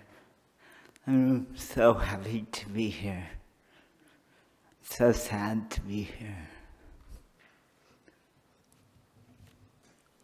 I realize that what I'm about to read is actually not true, that I came really close to meeting Amber 1987 before the Supreme Court civil disobedience. But so I'm telling this truth already. I first met Amber from afar at the 2002 Queer Disability Conference in San Francisco. Oh, I knew who she was. And I was entirely starstruck. As one of the small handful of organizers of that event, I was moving much too fast to say hello. Or so I told myself. In truth, my shyness took over. But I did watch her at the edge of those rooms, listening, taking notes, listening some more. She could have easily inserted herself as a dyke organizer, a well-known writer and HIV AIDS activist. But she, but she didn't. Instead, she sat absorbing, learning, making both personal and political connections, practicing solidarity. Not long after, Amber and I actually met And like many of the folks who, who have said this before, from that very first moment, we were talking for hours upon hours upon hours. Over the next 20 plus years, wherever we found ourselves, conferences and corporate hotels, Starbucks, all that beloved Starbucks that became, became another office for her. The QEJ offices, we would talk nose to nose. I will miss her laugh, her smile, her snark, the unfolding of stories, truth, and analysis between us.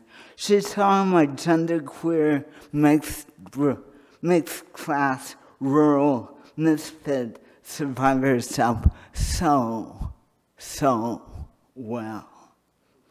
Again and again, I felt her support and solidarity around disability organizing and politics. She knew deeply and often personally the connections between disability and poverty, disability and aging, disability and HIV AIDS, disability and isolation. In her last years, we tried to see each other repeatedly and failed. Our relationship turned to intermittent texting.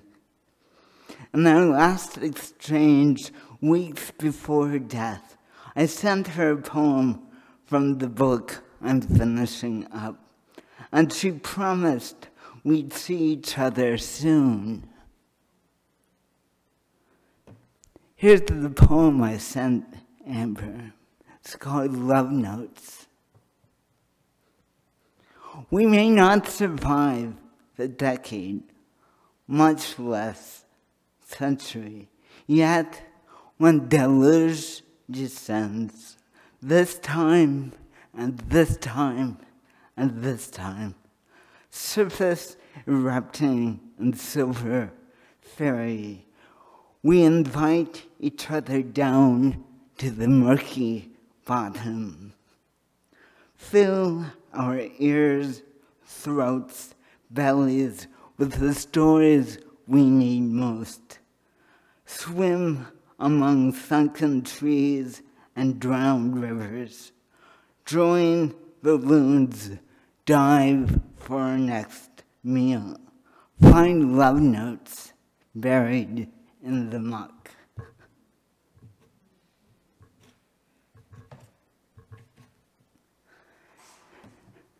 Amber loved so many of us in this room.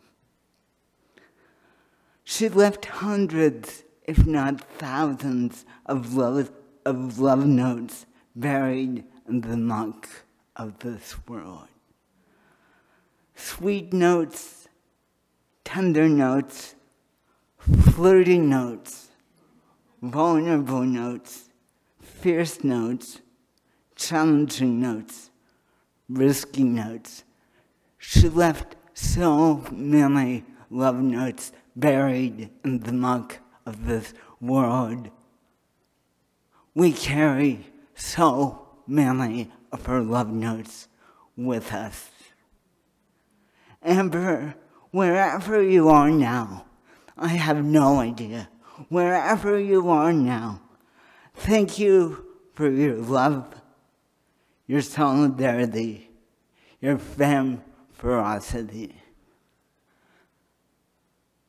May your memory be a revolution.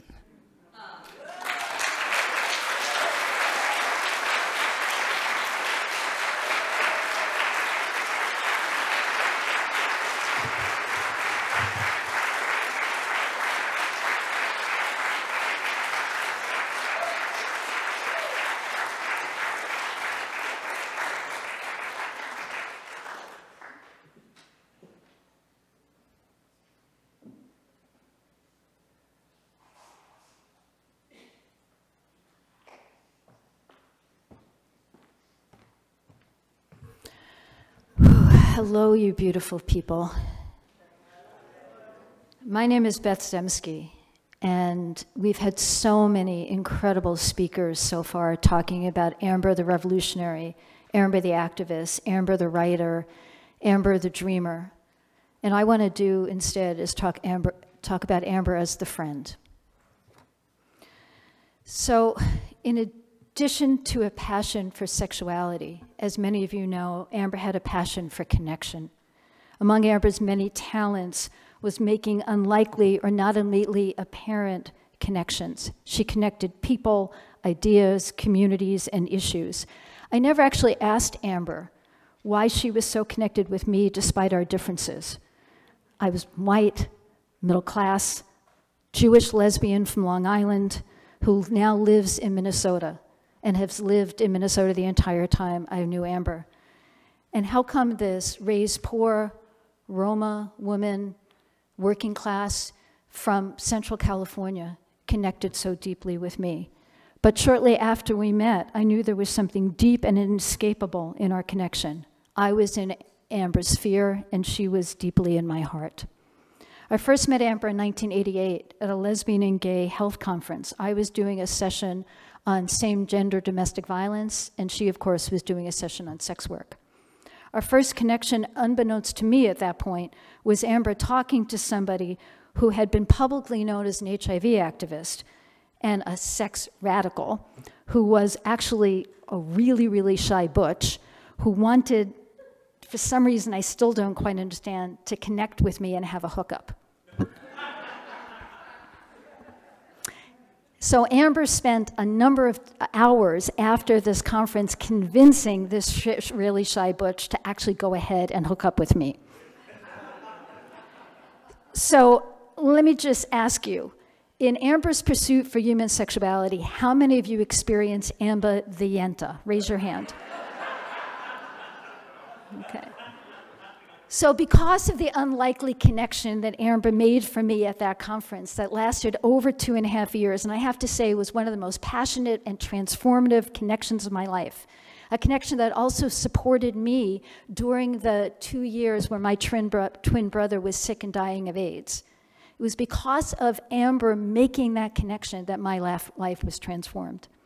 Amber was also a tremendous support for me during those years as I flew back and forth between Minneapolis to New York, helping me make the emotional as well as physical journey through my brother's illness and the impact of HIV on my life with every trip across the country that I made. Over time, all of my partners had to actually pass the Amber test.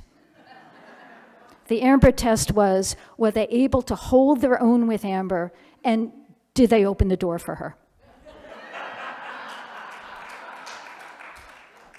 Amber schooled more than one of my partners into being a better butch.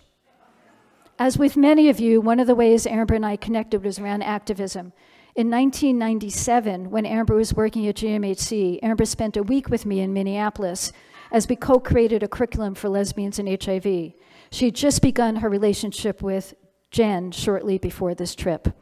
I still smile when I think about how Amber would completely lose her cool whenever it was time for a call with Jen.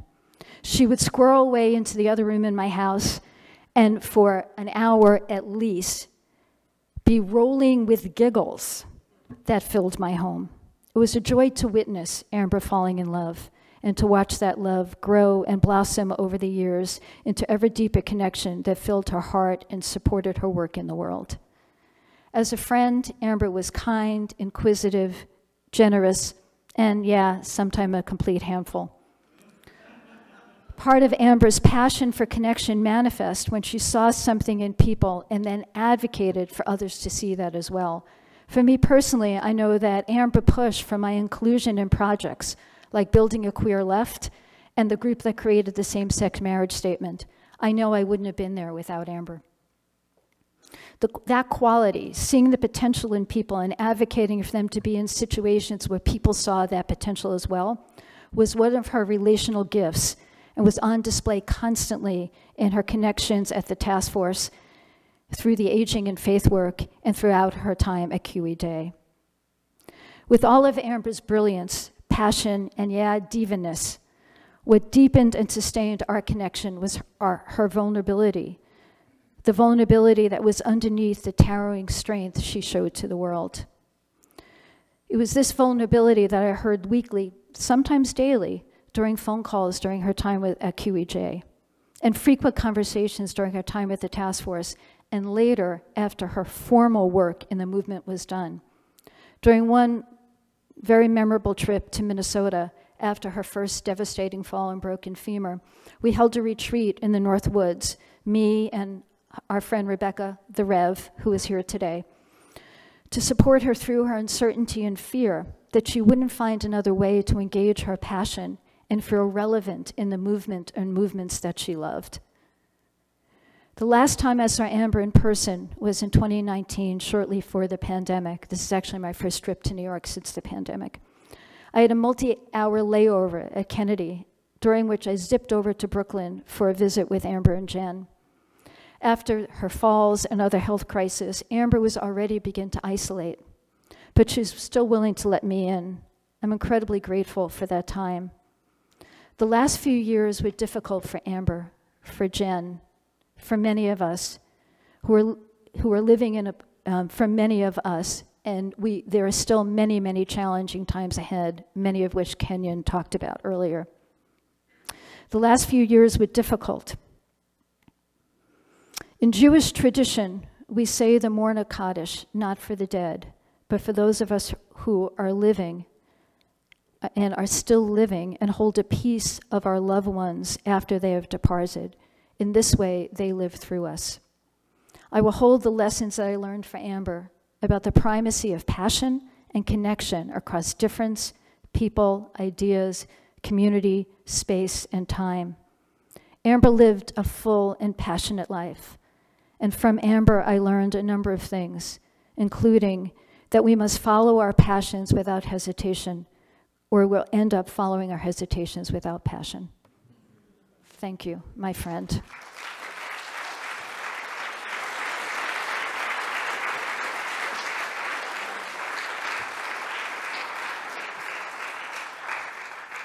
We'll get to that knee replacement someday. Joseph D. Was one of Amber's dearest friends. He was the, the, visionary founding executive director of Queers for Economic Justice. And from its very beginning, Amber was a foundational, devoted, essential generator of QEJ's groundbreaking work. As a spokesperson, a board member, a galvaniz galvanizing organizer, and finally as ED.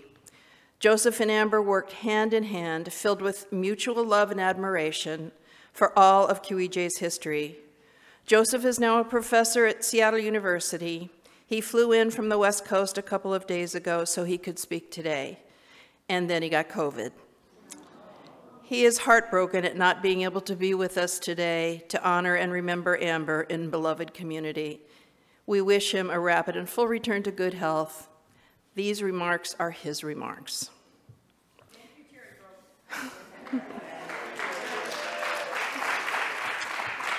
we do our best. Amber was my beloved friend, and I could talk about that friendship, but I don't know how to do that in public or how to do it briefly. It is still too hard, and my grief remains raw, even after a few months. But there is one aspect of our friendship that I do know how to talk about. Besides being my friend, she was also my teacher. So much of what I am today was shaped by her and by the many lessons I learned from her. I've been teaching for over two decades now, and I've been teaching full-time for nine years. And in my teaching, I often try to share with my students what I learned from Amber. Sometimes I do that by having my students read Amber's writings or watching interviews with Amber. So today I want to share with you some of the lessons that have been learned by, from Amber by people who have never met her. Here are some quotes. November 2012 my former student Monica, reflecting on Amber's sex work notes, some tensions of a former whore and a practicing feminist, written in 2000. Amber Hollibaugh's article gave me so much hope. I am inspired by her bravery in criticizing feminists for refusing to defend sex workers. I love when she says there's an enormous hunger for a movement that doesn't want to create a world that's the same as this world and doesn't want to fight for us to be the same as them. When she says that, Amber celebrates how some queer people reclaim being the other and the sense of empowerment that can come from rejection of traditional ideals. LGBTQ individuals can look at a world that disapproves of the sex trade and transcend that disapproval on the basis that, as queer people, we already know that the world is certainly not always right. June 14th, uh, June 2014, student Lisa on Amber's 2468, Who Says That Your Grandmother's Straight? from, from 2012. For some reason, I had never even considered the issue of queer senior citizens. Hollibaugh discusses the unrecognized population of LGBTQ old people. Here's a community that is marginalized, burdened with the extra complications of how our society perceives these populations. I am so grateful to Hollibaugh for educating me. May 2016, student Addie on Amber's My Dangerous Desires, A Queer Girl Dreaming Her Way Home, published in 2000. Hollibaugh focuses on how a gay liberation movement cannot even exist without sexuality. To quote her, sex is not just an action without baggage, but a reminder of our intense, binary, conformed, and oppressive society. We have been shaped, deformed, and liberated by the forbidden sexuality that we have dared to claim, regardless of the cost. Because of that journey, because of paying that price, we know as a lived reality that sex and desire are political, end quote. Hollibaugh's point is so important. Sex is political. We cannot pretend that it isn't. If we disregard sexuality within the queer liberation movement, we disregard the fundamental nature of humans as expression of sexual beings, and we disregard one of the fundamental reasons that we are hated in the first place. Hollibaugh teaches us that by ignoring sex, we cannot win any real victories. June 2018, a student, Paul, on Amber's television interview on the Laura Flanders show, Amber L. Hollibaugh, the LGBTQ movement's radical vision, which aired in 2013. Ms. Hollibaugh provides a blueprint for future activist work. I learned a lot from her message of queering economic, racial, and gender justice. She really taught me about another perspective on post-marriage queer activism, and it reminded me of how important it is to prioritize poverty and class. For weeks since I watched the video, I have thought every single day about her quote, if you can't do anything but fight for every single solitary thing, every single solitary day, then the privilege of dreaming becomes something that only a few people have. November 2020, student Madison on Amber's Sexuality and the State, the Defeat of the Briggs Initiative and Beyond from 1979. I really enjoyed reading Amber's, Amber Hollibaugh's account of what it was like to be on the ground fighting against the Briggs Initiative in rural communities in California. It was really encouraging to see how after receiving criticism about some of the rhetoric that was being used on the campaign against the bill, the activists changed how they were discussing it. Often we hear about criticisms, but not how these critiques were considered and incorporated into activist practices. I learned a lot from Hollibaugh here about how to be open to critique in my own activism and how that critique can make my activism stronger.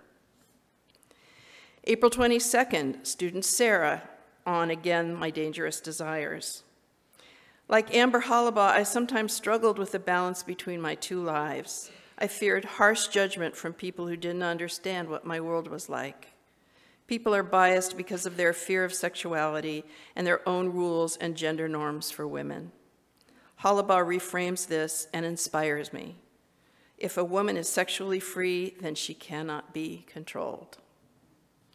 And finally, from March 2024, student Geraldine also reflecting on the Laura Flanders Show segment from 2013. I learned a lot from all the videos we watched last month, but I was particularly struck by the interview with Amber Hollibaugh. One thing that stayed with me is this quote. I think social change work is some of the most extraordinary dreaming that any of us have the possibility of doing. In some ways, the challenge of staying political is to stay a dreamer at the same time. Everyone's told always that in politics you have to be practical, but I actually think that's not true. I think you actually have to hold to a dream and understand what you can execute and what you can move forward. But you never give up on the dream, end quote. I feel like normally this is presented in such binary terms. Either you're a dreamer or you are a pragmatist. And I have struggled with that binary in my own community organizing. I love that Hollibaugh encourages us to be both. It's such important guidance for me as a young person just starting out in my activism. Those words led to a huge light bulb above my head. I wish I could thank her. All of these students' reflections demonstrate that although we have lost our friend, the legacy of Amber's work and her words will live on for years and years. There are still so many more people, people who are not even born yet, who will learn, as I did, from Amber's big, expansive, thoughtful, strategic, generous vision of a better world. And I am so lucky to have had this brilliant teacher as my dear friend. I will never stop missing her. Those are Joseph's words. Thank you, Joseph, for this inspiring and illuminating tribute.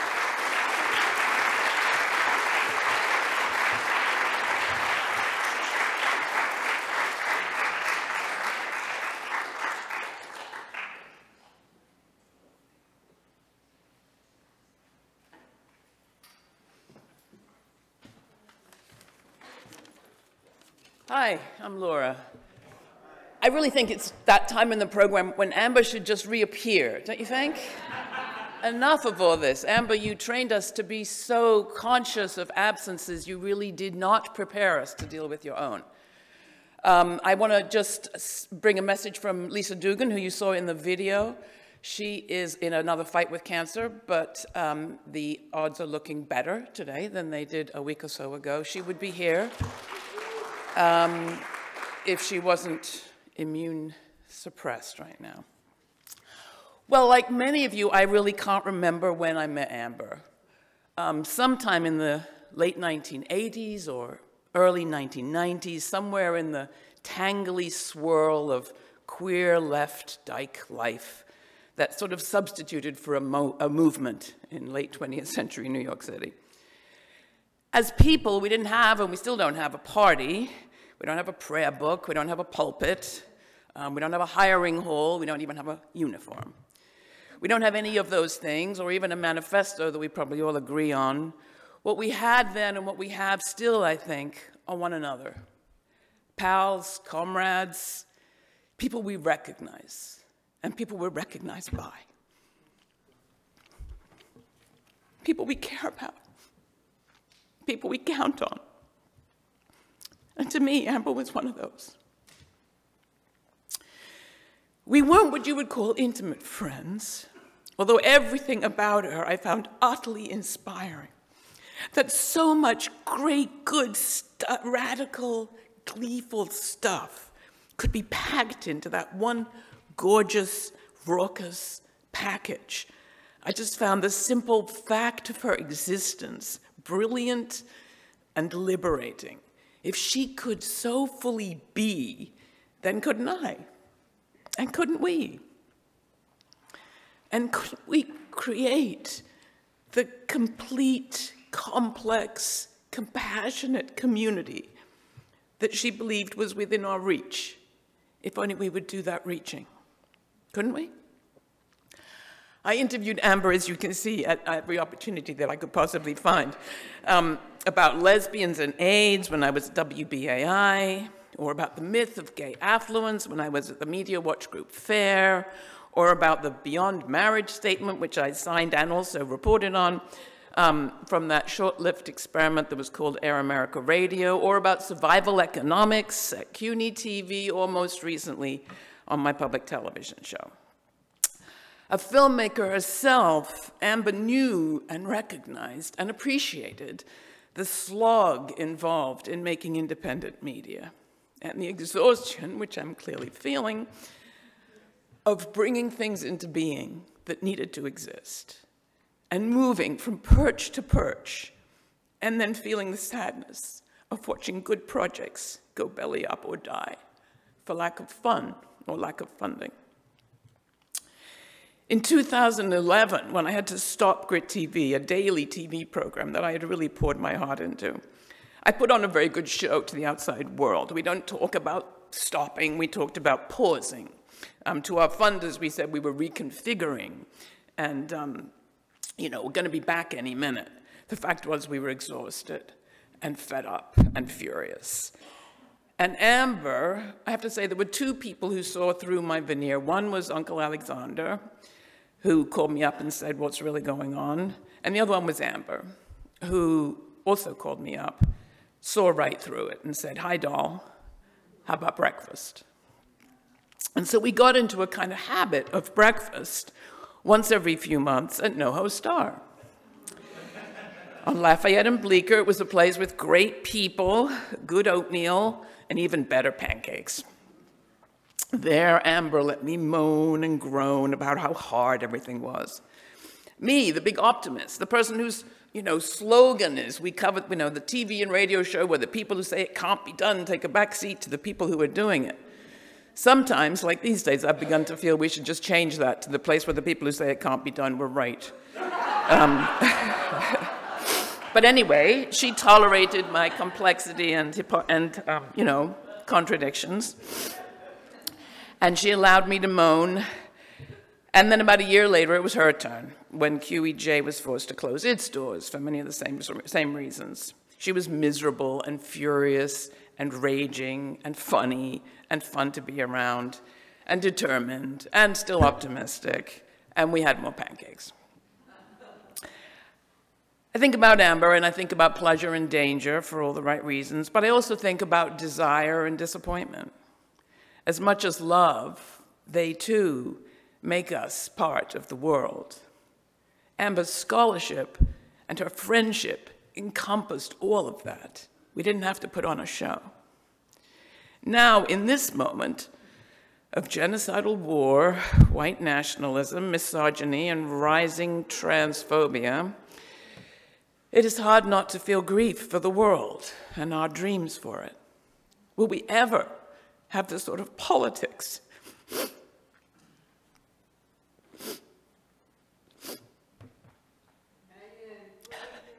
that Amber and so many of us have dreamed of and fought for? And that she fought so ardently to bring into being. Will we ever have a, will we ever have a politics that is actually fit to be human in. I think I can still see.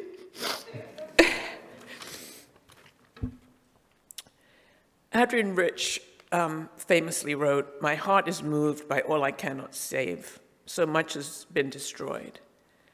I have to cast my lot with those who age after age, perversely, with no extraordinary power, reconstitute the world. Amber was one of those, and I cast my lot with her and with you anytime. Thanks.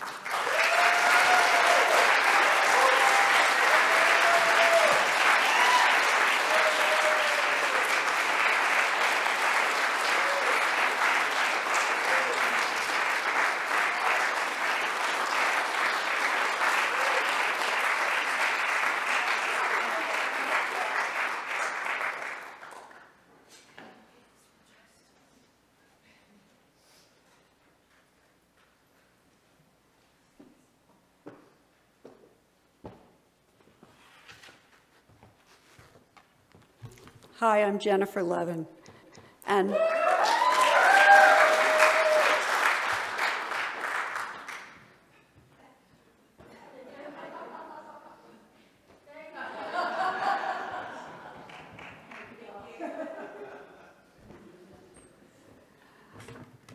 um, Laura Flanders is, uh, came all the way from Adelaide, Australia and um, where she was, and she said, I wouldn't miss this for the world. so, uh, so thank you, Laura, and, and, and thank you, everybody who's here. Um, before I start, uh, I, I, we have to give a big thank you to CLAGS um, for, for hosting us here.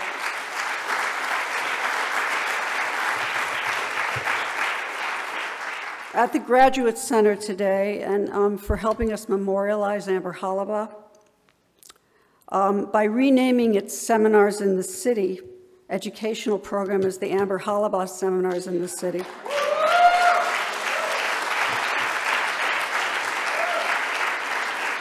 Um, and these will launch in the coming year. Um, I, thanks to everyone, by the way, who donated to these seminars so far, and, and a special appreciation to um, the generosity of the Barnard Center for Research on Women. Um, uh, where Amber did her final seminal work. Um, and uh, the co-directors of BCRW, Janet Jakobsen and Premila Nadasen.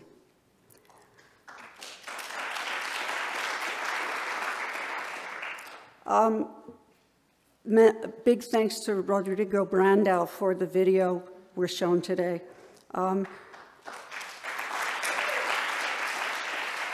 Rodrigo worked really hard on that until like four in the morning um, when he dropped of exhaustion, and, and I did too, but he put together something really beautiful, so thank you. Um, and I thank him also for recording this event.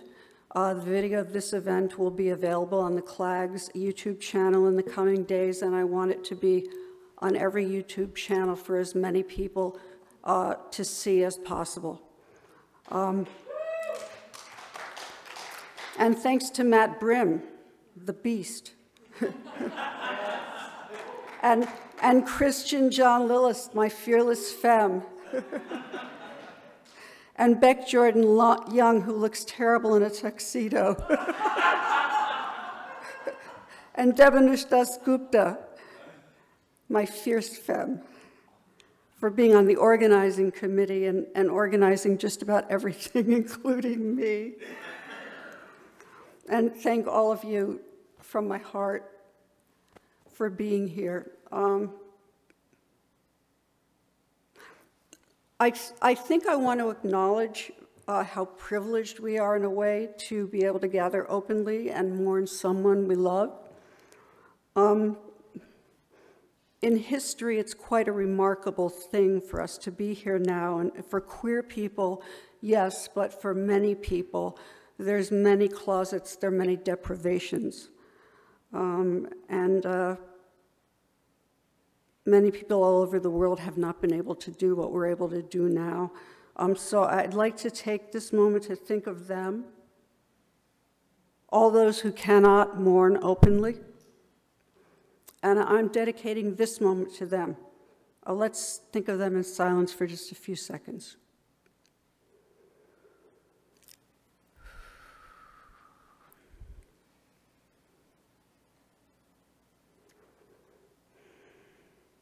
Okay.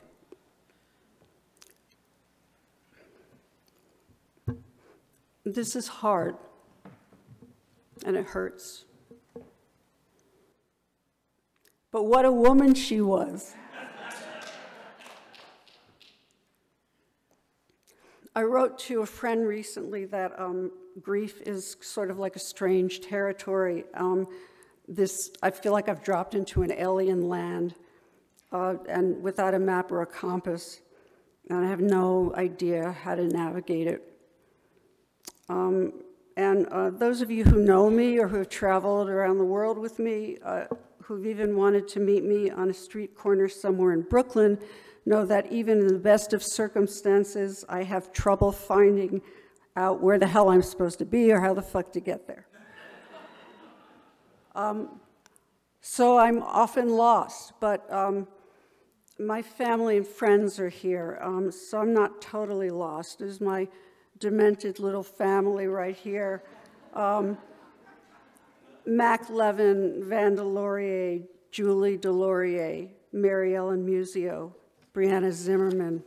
Is Mikey Lopez there? Oh, yes, indeed. All these people shower me with unconditional love and my friends, who are Amber's friends too, and who've kept me from falling apart countless times uh, Terry Boggis, Beck Jordan Young, Ricky Blum, Katie Taylor, E.G. Crichton, Roberta Sklar, Sandra Segal, John D'Emilio, and others. Uh, as my son said, Amber was a good stepmother. Um, raising children is not easy under the best of circumstances, and most folks can't afford the best of circumstances, and we were no, no exception. Our family split and reconstituted. I mean, you know, we're human, we're here, we're queer. We love each other, we hate each other, we figure out how to love each other again, get used to it.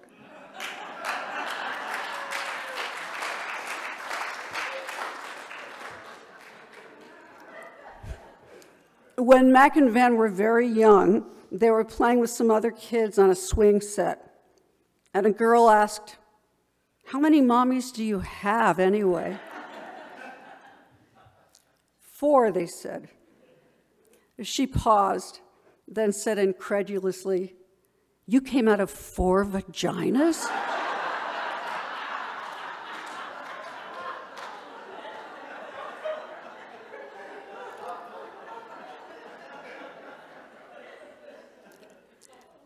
Amber was nervous about becoming a stepmom.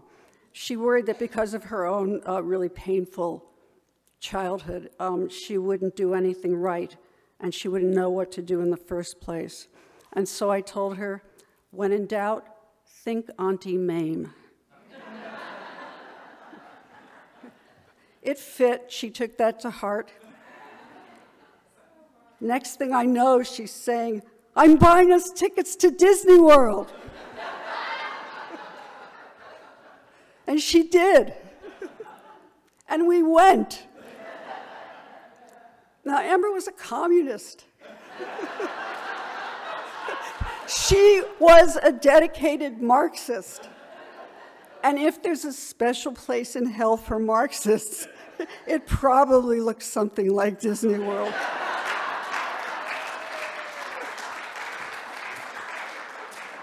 I mean, talk about taking one for the team.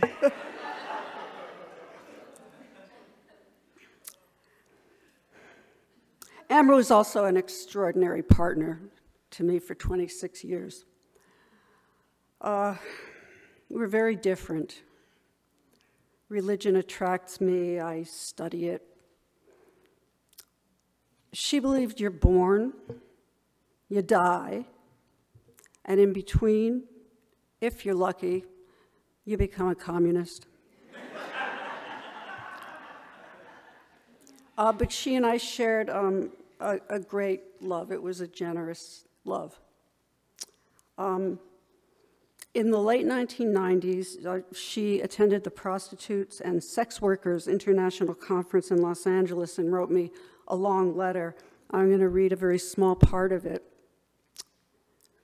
She said, Ironic that the conference is in LA, so close to Bakersfield and to the California growing valleys I was fleeing. The smells here, the crickets, the outrageous colors of the flowers, so garish and beautiful, all bring me back to my own younger self, a very defiant, angry, terrified teenage lesbian stripper. Freeways, and motorcycles and men three times my age.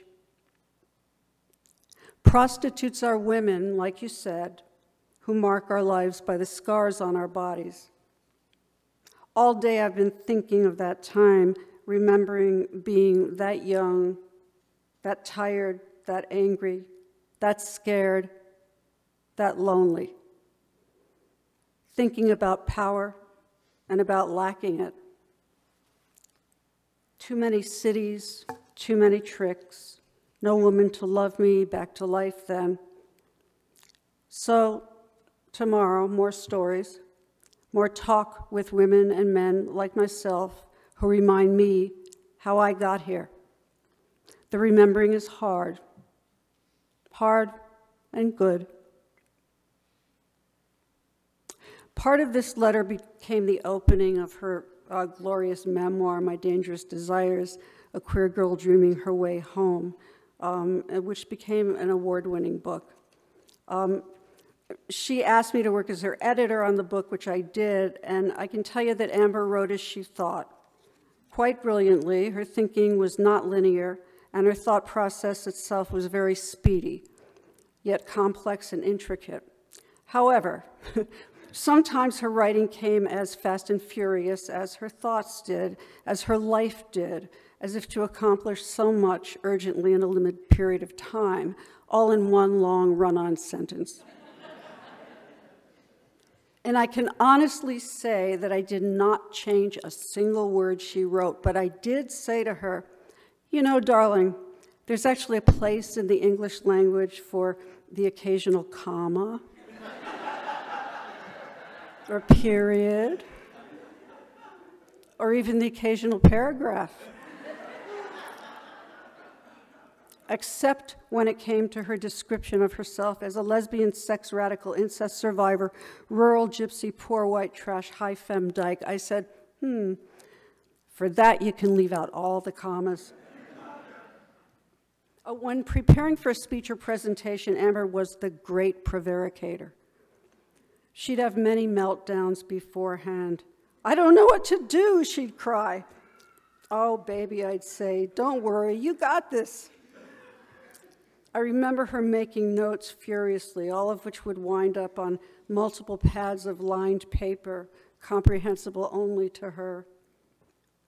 But then, ah, during a presentation, often in front of large and intimidating audiences, there would be a moment when she would push the notes aside and just speak extemporaneously off the top of her head, but on topic with shocking clarity and with such charisma.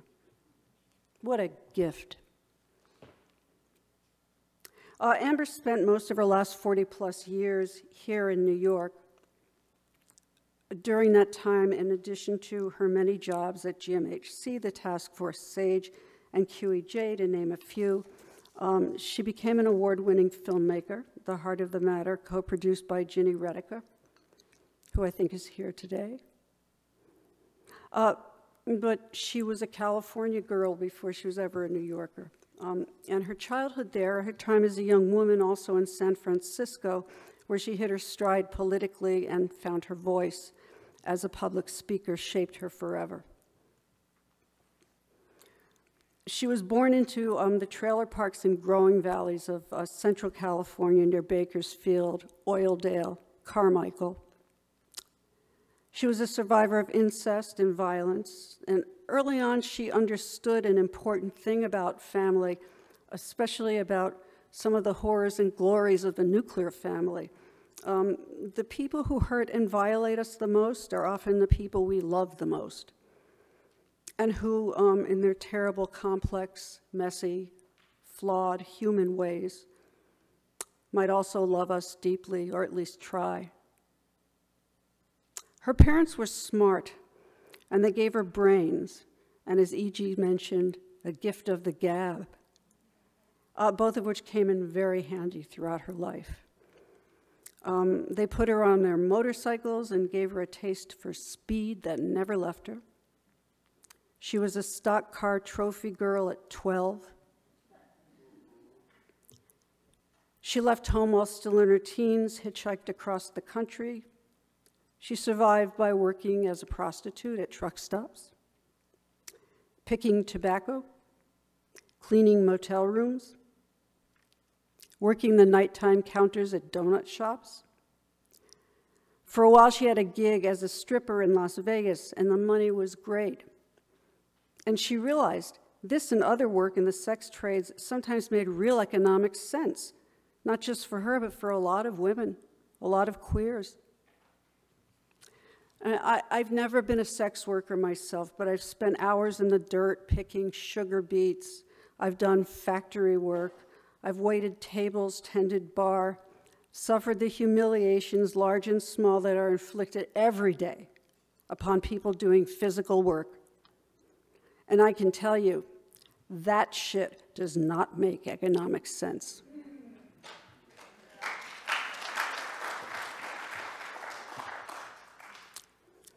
Amber joined the civil rights movement. She studied Marxism by day. She moved around, finally settling in San Francisco, where she worked at Modern Times bookstore, joined the women's movement, and also joined a gay socialist group. She was the only woman in it, supporting a mayoral candidate named Harvey Milk. And by the way, her speech uh, in 1979 in front of the angry, anguished gay crowd after the Dan White verdict, with John D'Emilio has, has elaborated on very eloquently, and which Laura Flanders has also brought up in her, her eloquent eulogy to Amber. Um, she aroused gay people to protest powerfully, not on a university campus, not in their own neighborhoods, but right in the heart of the city's political center, where they attacked and set fire to the property and machinery of power. This became known as the White Night Riots. It was an important event in the history of the gay liberation movement. And I'm saying gay liberation, not gay pride. I mean, pride is cool. Don't get me wrong. It's nice to have a parade and to be sort of accepted in some way and to feel really good about ourselves and for corporations to give us money. Liberation, though, is a whole different animal. And things changed for her very quickly after that. In 1980, she and Cherríe Moraga uh, wrote and published the essay, What We're Rolling Around in Bed With, uh, in which they had a remarkably frank discussion of butch femme roles and lesbian sexual practice and this gave her a kind of notoriety, uh, making her famous in some feminist circles and infamous in others. Amber was a passionate feminist, uh, but she would learn the darker side of sisterhood. During a 1982 conference held at Barnard College, um, at which she was scheduled to speak, it was called The Scholar and the Feminist Nine towards the politics of sexuality, which uh, soon became known simply as the Sex Wars Conference. Uh, she and other lesbians, among them Gayle Rubin, Dorothy Allison, Joan Nestle, Esther Newton. Hey, Esther, did you get picketed? Yeah, okay. um, they were picketed by anti porn feminists. And for the first time in her life, Amber crossed a picket line and gave a great talk. And her insistence uh, that so sexual desires as powerful a force as revolution, that in fact it is essential to revolution, turned academic feminism on its head and continues to do so today. Uh, people in political meetings and in some of the organizations she worked for would sometimes roll their eyes, I think, when Amber was in a meeting, when she started to talk about sexual desire, and you could hear them thinking, why is she always talking about that? Um, I'll tell you what I think. Why it was and is so important. Our bodies and our minds are just normally wired for ecstasy. And people will give up anything, anything, to experience that. Now, in the nation state, citizens and others will tolerate a whole lot of suffering and privation. They'll tolerate a lot of bullshit. They'll tolerate a lot of lies. The economy is booming. Unemployment is at a record low. The war is going so well. Now everyone can get married. Big brother loves you. But a personal hint that ecstasy exists and all the lies start to fall apart. You may be walking through the gray little universe of a titularly democratic plutocracy, perhaps. You sound familiar? Um, or of an openly authoritarian fascist state on your way to your gray little joyless job that produces nothing of value except a gray little paycheck. When a look of desire from someone passing by can shake your world, and you think, I want you. It's a little whisper that breaks through the background cacophony of bullshit. And it starts to tear down all the lies. Or as, as George Orwell wrote in 1984, say, a tiny note is passed to you just outside the perimeter of the surveillance cameras. And you open the note and see these words I love you.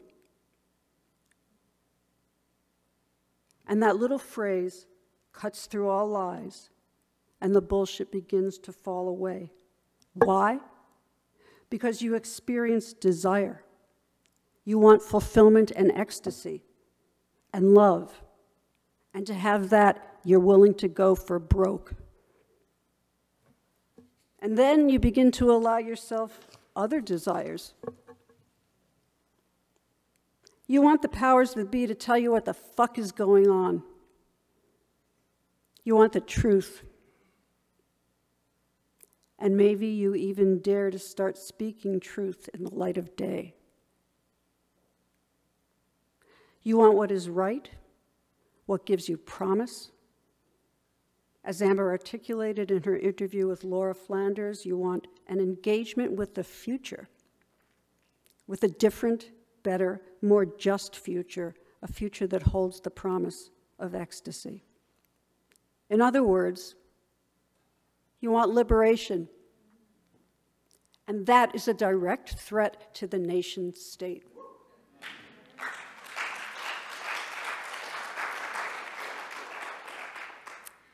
As any spy setting up a honey trap will tell you, sometimes one person's desire can destabilize nations. That's why she insisted that any viable political movement has to recognize the centrality of human desire, that the capacity for ecstasy that is wired within our bodies, the pleasure seeking between human beings that leads to delight, to connection, that spawns the possibility of love and of hope, constitutes a threat to fascism and creates the possibility of revolutionary social change. Amber believed this and she expounded it all her life. And people always said, oh, she's larger than life. But that is a mistake. I believe she was as large as life should be.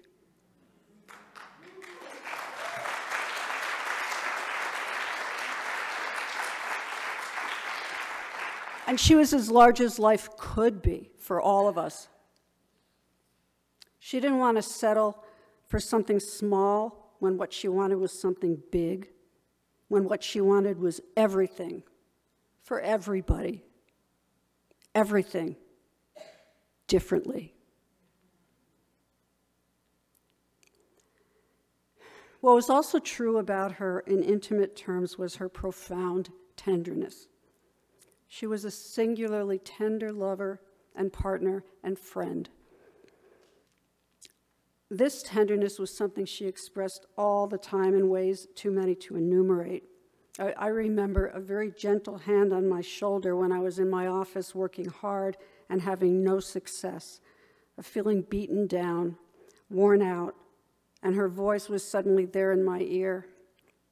Jen, it's three in the morning. It's time to come eat dinner. she had prepared this dinner for me, and she'd waited up to make sure I would eat it. She was capable of absolute commitment. She possessed profound wisdom um, and gave me an irreplaceable friendship. And in all this, I have to say that I found her infinitely womanly. She really was everything a woman could be to me, and, and we were lovers in every sense of the term for 26 years. Um, it was one of the greatest strokes of luck in my life to have this, and it was the honor of my life to protect it. Um, I, I did protect it fiercely and sometimes with a little edge of jealousy, you know. Um, for example, I always had flowers sent to her the day before Valentine's Day. And when she asked me why, I said, Well, I want to be the first in line. You know, I mean, it's a dirty, competitive world out there. she laughed. But she did have plenty of admirers. Um, I met her at her place of work once on Valentine's Day. Um, and as I approached her desk, I saw that the flowers I'd sent her the day before were sitting there. Um, but so were a lot of other bouquets and flowers that others had sent on Valentine's Day. And when she saw me, though, she stood and gave the gorgeous grin that only she could give, a combination of joy, flirtatiousness, and a little goofiness.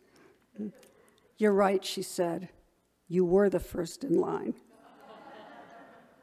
And she gathered up all the flowers everyone else had sent her and threw them in the trash on our way out. Babe, I said, you got that one right.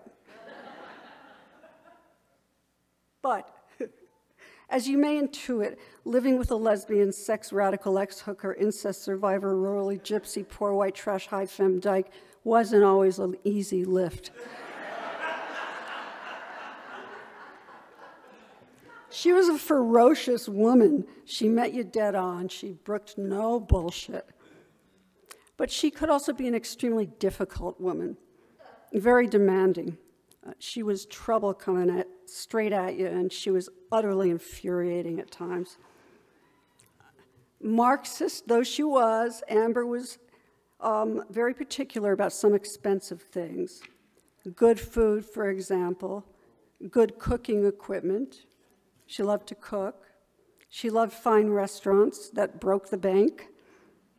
And yes, she made an unforgettable fish vindaloo. Also, she was quite particular about her makeup. Once we were getting ready to go to an event at which she was to appear on stage as part of a Q&A panel.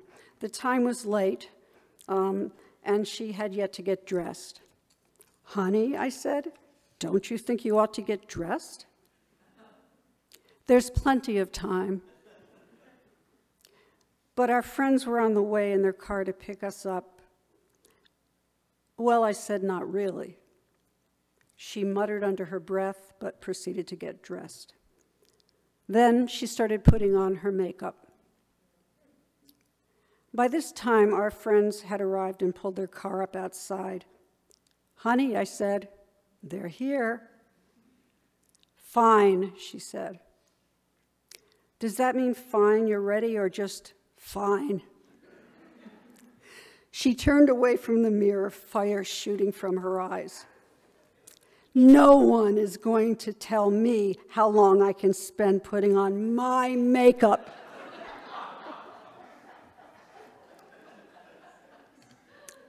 Amber, I said, we got to leave soon. Then you go. Just go. I'll call, call a car and I will get there on my own. By this time, I was pissed off. Okay, I said, if you want to, you can do that. I'm going to wait outside for five minutes. Just let me know what you decide. I step outside. Donna's there leaning against the car. Kathleen's inside the car staring into the rearview mirror, and she's putting on mascara. Huh, Donna said, What's up? I want a divorce, I said. huh, something happened? Yeah, I said, she's putting on her makeup. Oh, yeah, says Donna. I hate it when they do that. Two, two minutes later, the door to our place opens and Amber storms out, looking exquisite. She glares at me. I open the car door for her. We all get in and drive away.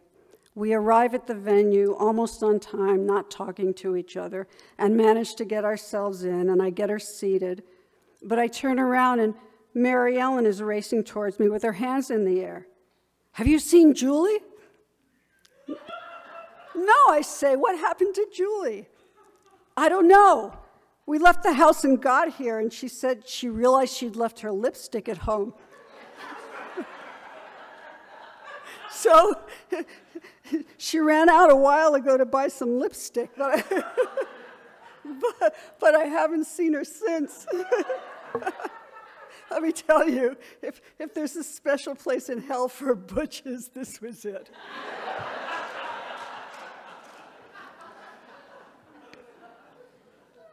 Um, the event went off pretty much as planned. Amber got up on the stage for the Q&A, and as usual, she was brilliant, perceptive, and eloquent.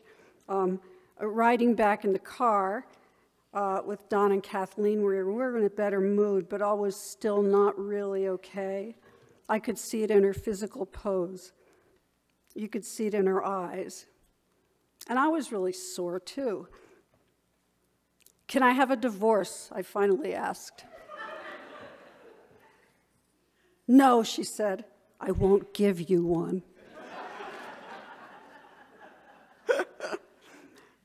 uh, so, yeah, we had problems, troubles, difficult times like everyone else who lives hard and long together. But I adored her. I adored her. Everybody knows the crisp little phrase that Marx wrote religion is the opium of the people. What many don't know is the profoundly humane phrase that accompanies it. It is the heart in a heartless world. Marx, too, understood the power, the centrality of ecstasy in the human experience. He pinpointed the source as religion. Amber insisted on the centrality of sexual desire, of human eros, as the source of ecstasy, the heart in a heartless world. In ways too vast and too intimate uh, to give voice to, she was so often my heart in a heartless world.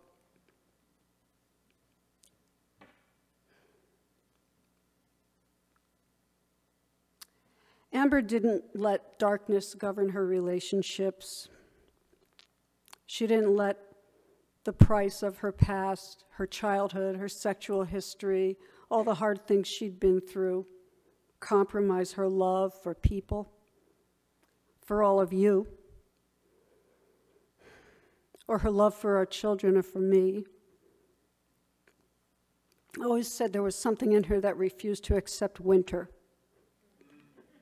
my California girl. As JoAnn Wypijewski wrote of her in The Nation, she let the light in. Uh, the loss of her leaves a, a permanent emptiness in my arms, in my bed, and in my spirit. Yet, the memory of her is astonishingly sweet. When he learned of uh, Amber's death, a dear friend of mine, David Horst, uh, said to me, We're all just walking each other home. And I think in some way, when we love each other, that's true. So um, I thank you for being here. Thank you for helping me walk my California girl home. Thank you.